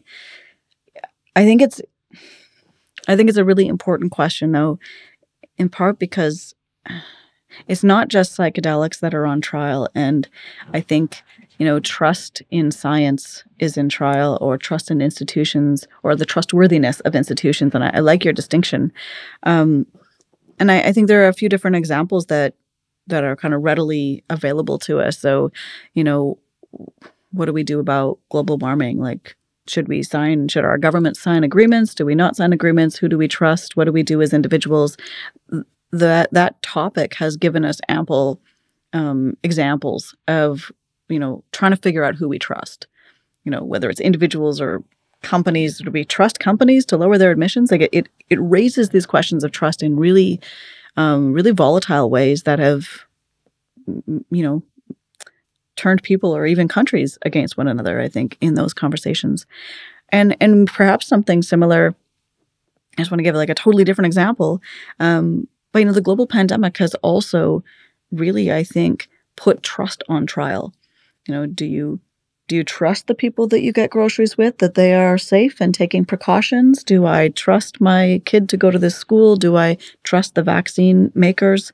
Um, it's really caused us to sort of, I think, question which bodies or voices or authorities we go to to to, uh, to develop that trust. I mean, I would love to quickly learn vaccinology and make sure that I'm making the right decisions because I have my own, but we simply don't have enough time or energy or, or capacity even.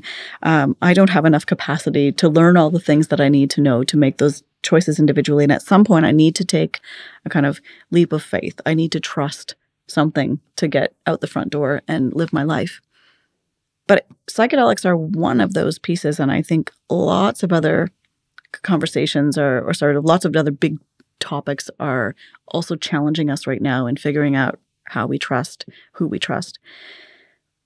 When it comes to improving the trustworthiness of whatever authorities, I guess my mind initially goes to um, some of the universities, you know, universities as one of the institutions that's generating information, guidance, sometimes protocols about now those other topics too, but now we'll talk specifically about psychedelics. You know, this is this is perhaps controversial what I'm about to say, but it's fascinating to me that there was a period of time when psychedelic research came into play and they, it played out in a variety of places around the world. I know there were Finnish investigators here in the 1950s. Um, there's evidence of, you know, LSD trials in in Buenos Aires and Sao Paulo. You know, in in Shanghai. I mean, there's all Bulgaria of, was one you mentioned also. Yeah, like yeah. all over the place. There are people invested in this, and some of it, you know, went places. Some of it didn't, um, in the sense that it, you know, it really got a lot of traction in those communities. Um, but what I mean to say is that in some ways it was mundane. You know, it sort of fit within the kind of regular ebbs and flows of psychiatric research, and it wasn't that alarming. It it became that way for reasons we've discussed, but but it was some sometimes rather benign. But I think the willingness of universities as institutions or research institutes, if you will, to sort of take that on made sense with the kind of scientific discourse of the day, right? This is worth trying. And the generation of people who were raised on the kind of propaganda about these drugs frying your brain or, you know, making you jump off of a building or go blind or what those kinds of um, messages um, are sometimes now the people in charge of the research ethics boards and they're sort of of an age where they're at the sort of top levels of administration in, in universities. And i say this i realize that might sound like a conspiracy theory but it's been interesting sitting on different boards and commissions in north america and encountering that deeply held feeling in talking to otherwise what I would think are reasonable people. And I think it's very interesting to see how that attitude has become entrenched. And I think it has done a disservice to our capacity working in institutions to try to engender trustworthiness. Because the science and the ideology are still playing out in some of those spaces. Um, you know, getting funding for psychedelic research. I know, you know, Imperial College, for example, David Nutt has been quite vocal about some of the challenges in convincing regulating bodies or convincing funding bodies that this is worthy of reinvestigation. And so I think that the kind of um, rigidness of those institutions has made them not flexible enough to meet the kind of growing mainstream demand or curiosity. And what I see in the psychedelic landscape right now is philanthropy and philanthropists funding the so-called psychedelic revolution, which makes me makes me confused. I'll say, um, because on the one hand, I think that gives tremendous power to individual wealthy benefactors who might then choose whatever they want. And by the same token, without them, then it seems that it would be even perhaps longer or more difficult to convince, you know, um, bodies that involve peer review and all of that with its problems for sure.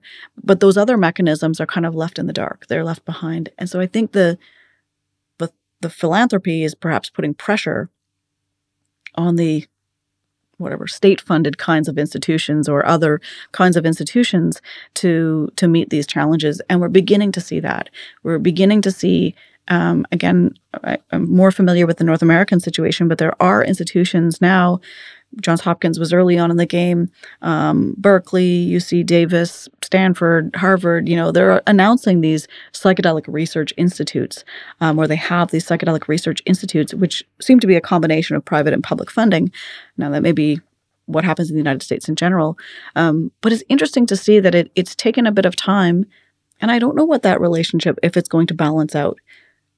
I am slightly nervous about a philanthropic um, revolution because I guess to me my my feeling is that um, it might condense down to those seeking a return on their investment. Uh, and the bas- basic research is neglected, and everything that doesn't bring fruits of power yeah. might get neglected.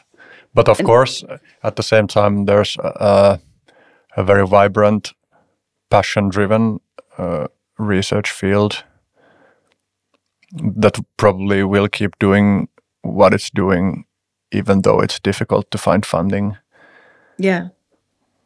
I, mm. I do think that it's a factor that, um, well, maybe uh, maybe this happens in other fields as well, but it, it seems it seems like a significant factor in in this field right now, um, and I just don't know enough about I don't know some other maybe form of technology that maybe functions under some similar kinds of principles, but but I do see the you know the the use of testimonials of celebrity testimonials, for example, to push along this conversation is kind of remarkable. Um, you know that I don't know if that I don't know if it's a good thing. mm. Maybe it is. I want to sort of wait and watch this space a little bit more. Mm. Um, because on the one hand, we have this sort of historical story of like be careful we don't want to have too many individuals with too much power in this space or too too much of a microphone because they might like you know tear the whole the, whole house will come falling down. Um, but on the other hand we're sort of reliant now on these vocal champions in order to drum up support for what might be a more widespread revolution. And i guess that tension is a bit disconcerting to me. Mm. Yeah, I personally have quite a big distaste for for the hype surrounding psychedelics and uh, the dishonesty in the parts of the psychedelic movement which doesn't want to face the shadow side of psychedelics, which wants to push psychedelics as being much more safe than they actually are. I'm not saying that they are in any way totally unsafe, but I do think that they would need to be approached at least like a a bit more like sports in the sense that you know that sports is an activity that is not inherently safe. You can have safeguards, but you can also have freaky accidents, especially when it comes to extreme sports. Mm-hmm. And when it when it comes to psych, especially like like the more powerful psychedelics like 5-MeO DMT, I've been thinking quite a bit about how carelessly people are touting it as a, a very mm-hmm. um, a very uh, time efficient psychedelic yes. that you can just quickly use to treat your mental health, which is like because I, I think it's it is dangerous in in a sense that most psychedelics perhaps are not because of the intensity of the effects and uh, the uh, ease with which many people just like uh, trumpet the uh, awesome miracle uh, aspects that of course it, it, i cannot say that it doesn't have those aspects but it's just not the whole picture and of course like a big part of this is just like an over uh, what's the word like com- over compensation mm-hmm. uh, because the anti-psychedelic propaganda was was so harsh that and uh, yeah i often find myself observing that people think that you cannot you know uh, flip out on acid and jump out of the window of, of a building that does, that's just drug pro- propaganda, which is it's not. It's like something that happens. People have freaky accidents, like uh, the musician Nick Cave's mm-hmm. uh, one of his twin sons died falling off a uh, like cliff on acid or something, and it's it's just a reality. that mm. things like that happen. And I think we need to grow a lot more maturity in talking about that stuff and putting it into proper context and not just like uh, uh, playing the victim card of we we are so oppressed as a, a subculture or, or people yeah. who are into these kinds of things. Um, and I actually want to, uh, in the little time that we have left, I want to circle back just a bit back to the 60s because, okay, we talked about how the situation started changing. Uh, the researchers had difficulty getting funding. They started having difficulty getting uh, subjects. Also, uh, hiring people started becoming difficult because the association with the dangerous countercultural uh, movement uh, driven by people like Tim Leary or Ken Kesey uh, was just so shocking to the the mainstream culture and um, and you've also mentioned that Humphry Osmond was like uh, what was the word that you used? Like pushed out of the. Yeah, I think he was distanced a little bit from yeah. the mainstream. Uh, maybe because we've been talking quite a bit about Humphry Osmond. Maybe you can somehow wrap up mm. his uh, story with the psychedelic research project. Yeah, I think I think it was difficult to figure out. I mean, for him and and his collaborators, you know, they they still fundamentally identified as psychiatrists or you know researchers and and practitioners within that space. And while they were, I don't think they were, um, you know, deeply against you know the Grateful Dead. I'll pick on them because I know that Abram Hoffer went to a Grateful Dead concert. Um, not, I don't think, to um, listen to the music necessarily, um, but he went with niacin. Um, and he went, it was in the mid 1960s, and he said he went there to distribute tablets of niacin and to sort of help. He describes it, and, and maybe others didn't feel that this was very helpful, but he certainly thought that he was going to help. He said, if you're going to take these drugs, just like don't let it get out of hand. And actually, niacin can help to reverse your reactions. And uh, and he was also a big proponent of niacin at this time for other reasons. But um, and he was like, you know, it's a vitamin. You know, he, I'm not patenting it. He wasn't making money off of it, so it kind of aligned with the principles as well. And I always find that kind of a sweet story in some respects. And having met him in his 90s, it, no one would have thought of this guy as a hippie you know, this was not a hippie. You know? Again, he probably looked like a narc walking around in the crowd. Um, but it's interesting to see that his his attempt to forge that relationship was again, I think, quite genuine. Um, Humphry Osmond met with like Owsley Stanley and talked to him about his his acid production and and Was agreed. Owsley Stanley the alchemist that's referred to? yes. Because okay, I I know of course Owsley Stanley, but I wasn't sure like if that's the same- person. I didn't know when I when I wrote the book, Uh-huh, uh-huh, um, okay. but further research and with um, Owsley's daughter, um, I think I think we can confirm that now. Um, so yes, I, I think that's the case. When I mean Osmond, I think was quite sympathetic to some, you know, and I don't think he was one to say this needs to be kept within um, you know the, the medical community. But i think as you're suggesting i mean proceed with caution you know and lots of things can be dangerous. Like abe was famously on the news saying like aspirin can be dangerous. Anything can be dangerous. But you know you, we need to appreciate you know what are the effects so that people have um, you know can make good choices and that might be a choice not to take it or it might be a choice to like do it in a safe environment or whatever it might be. We can't control how people are going to seek out these substances but let's arm them with information about it so they can make good choices. Um, and i think that that attitude um, kind of gets swept away. And they really struggle. I think some of the psychedelic researchers and they're not alone by any stretch there are other psychedelic researchers at this time including some of the ones at, at spring grove hospital who feel you know, they're getting squeezed by their own colleagues in the profession, um, and they're getting squeezed by the media. They're considered kind of, you know, narkish types, I suppose, or you know, they're part of the problem, the man, the authority, whatever, um, by their countercultural brethren, if you will.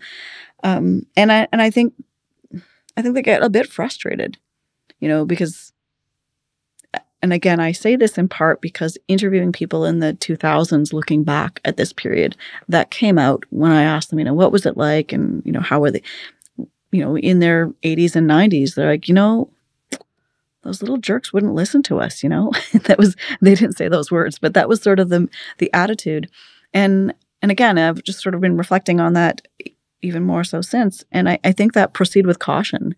Um, the the mantra, just say no which was flipped around to just say K N O W, um, kind of loses its, you know, it, it didn't maintain its uh, veracity in this space. It, it loses its meaning. But, but I think that was um, an interesting counter slogan.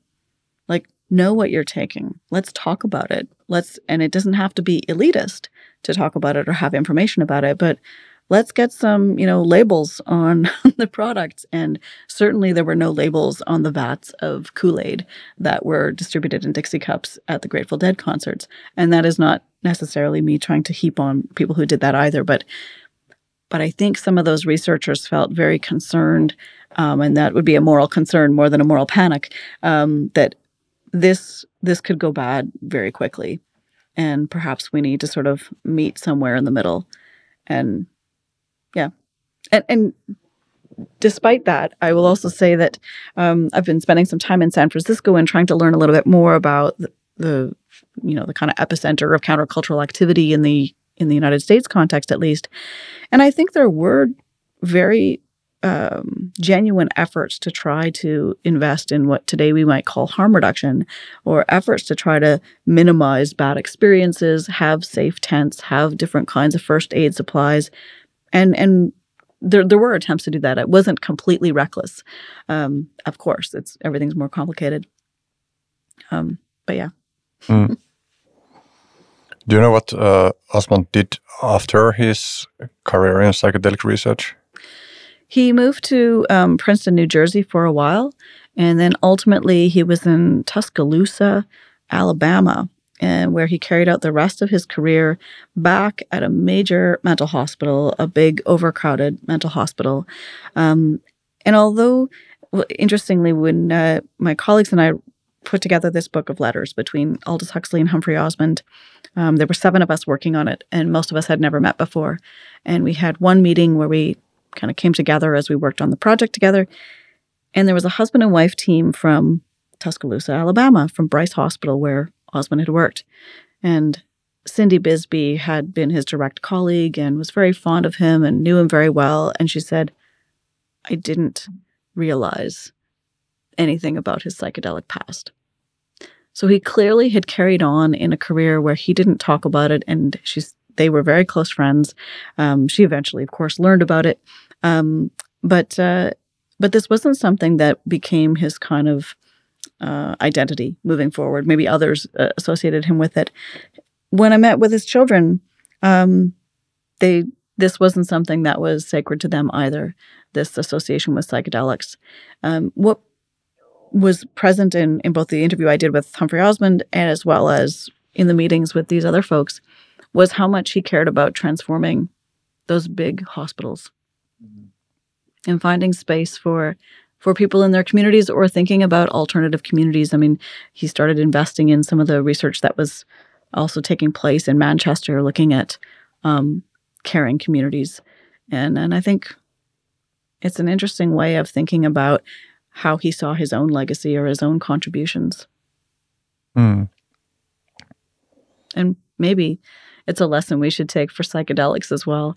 And um, I know this is perhaps a bit of a cliche, but I do think that the concept of doors of perception, even just the title itself, is instructive here that psychedelics offer a doorway into thinking differently. And that can be done at an individual level, it might be done on a collective level, but they're not the thing waiting for us on the other side of the door, but uh, the door themselves. There's a lot of avenues that would have been intriguing to explore, but uh, due to our time restraints, uh, I will now lead us to my short final questions that I present to all my guests, and you can answer with one sentence or more if you like. And the first one of those is an early memory that has affected the course of your life. Hmm. Gosh. That was a surprising question. I wasn't ready for that at all.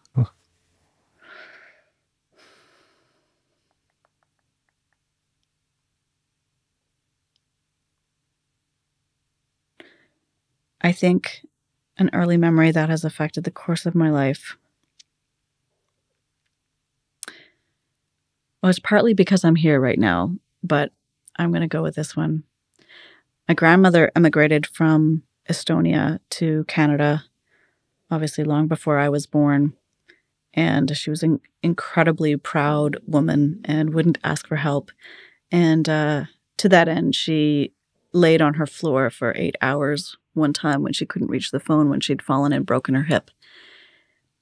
And I remember I was a, a, kid at the time, and when this news reached my mother, and we immediately went to go and and see and help my grandmother, and it just the story, the life, and the dignity of somebody just sort of collapsed in one fall. This really incredibly strong woman, and the helplessness, all kind of you know, like her story just collapsed before me in my eyes and i i just that just really left something with me about the power of the power of stories and the and the helplessness of people sometimes when we don't have each other to rely on. Hmm.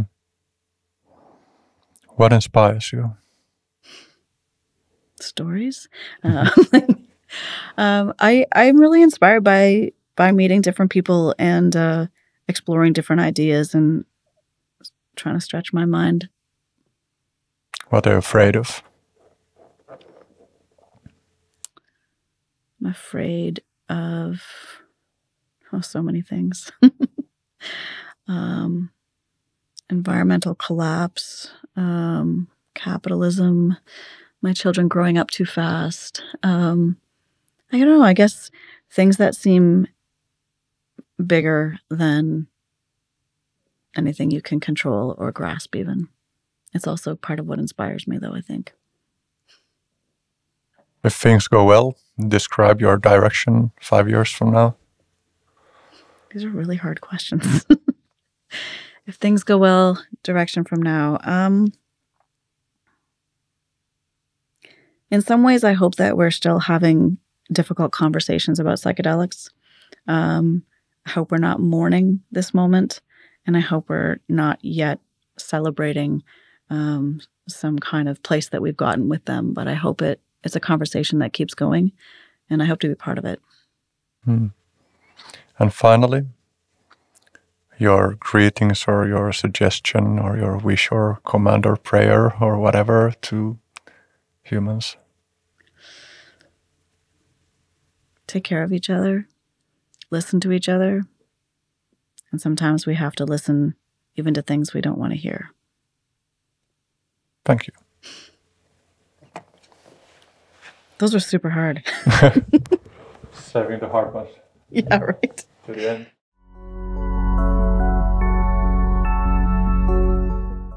Thank you for listening to my conversation with historian of science Erika Dyck. If you enjoyed this conversation, uh, as always, your likes, comments, shares, and subscriptions are very welcome. And uh, if you want to support the podcast further, please check out the Patreon page at patreon.com slash curiousonearth.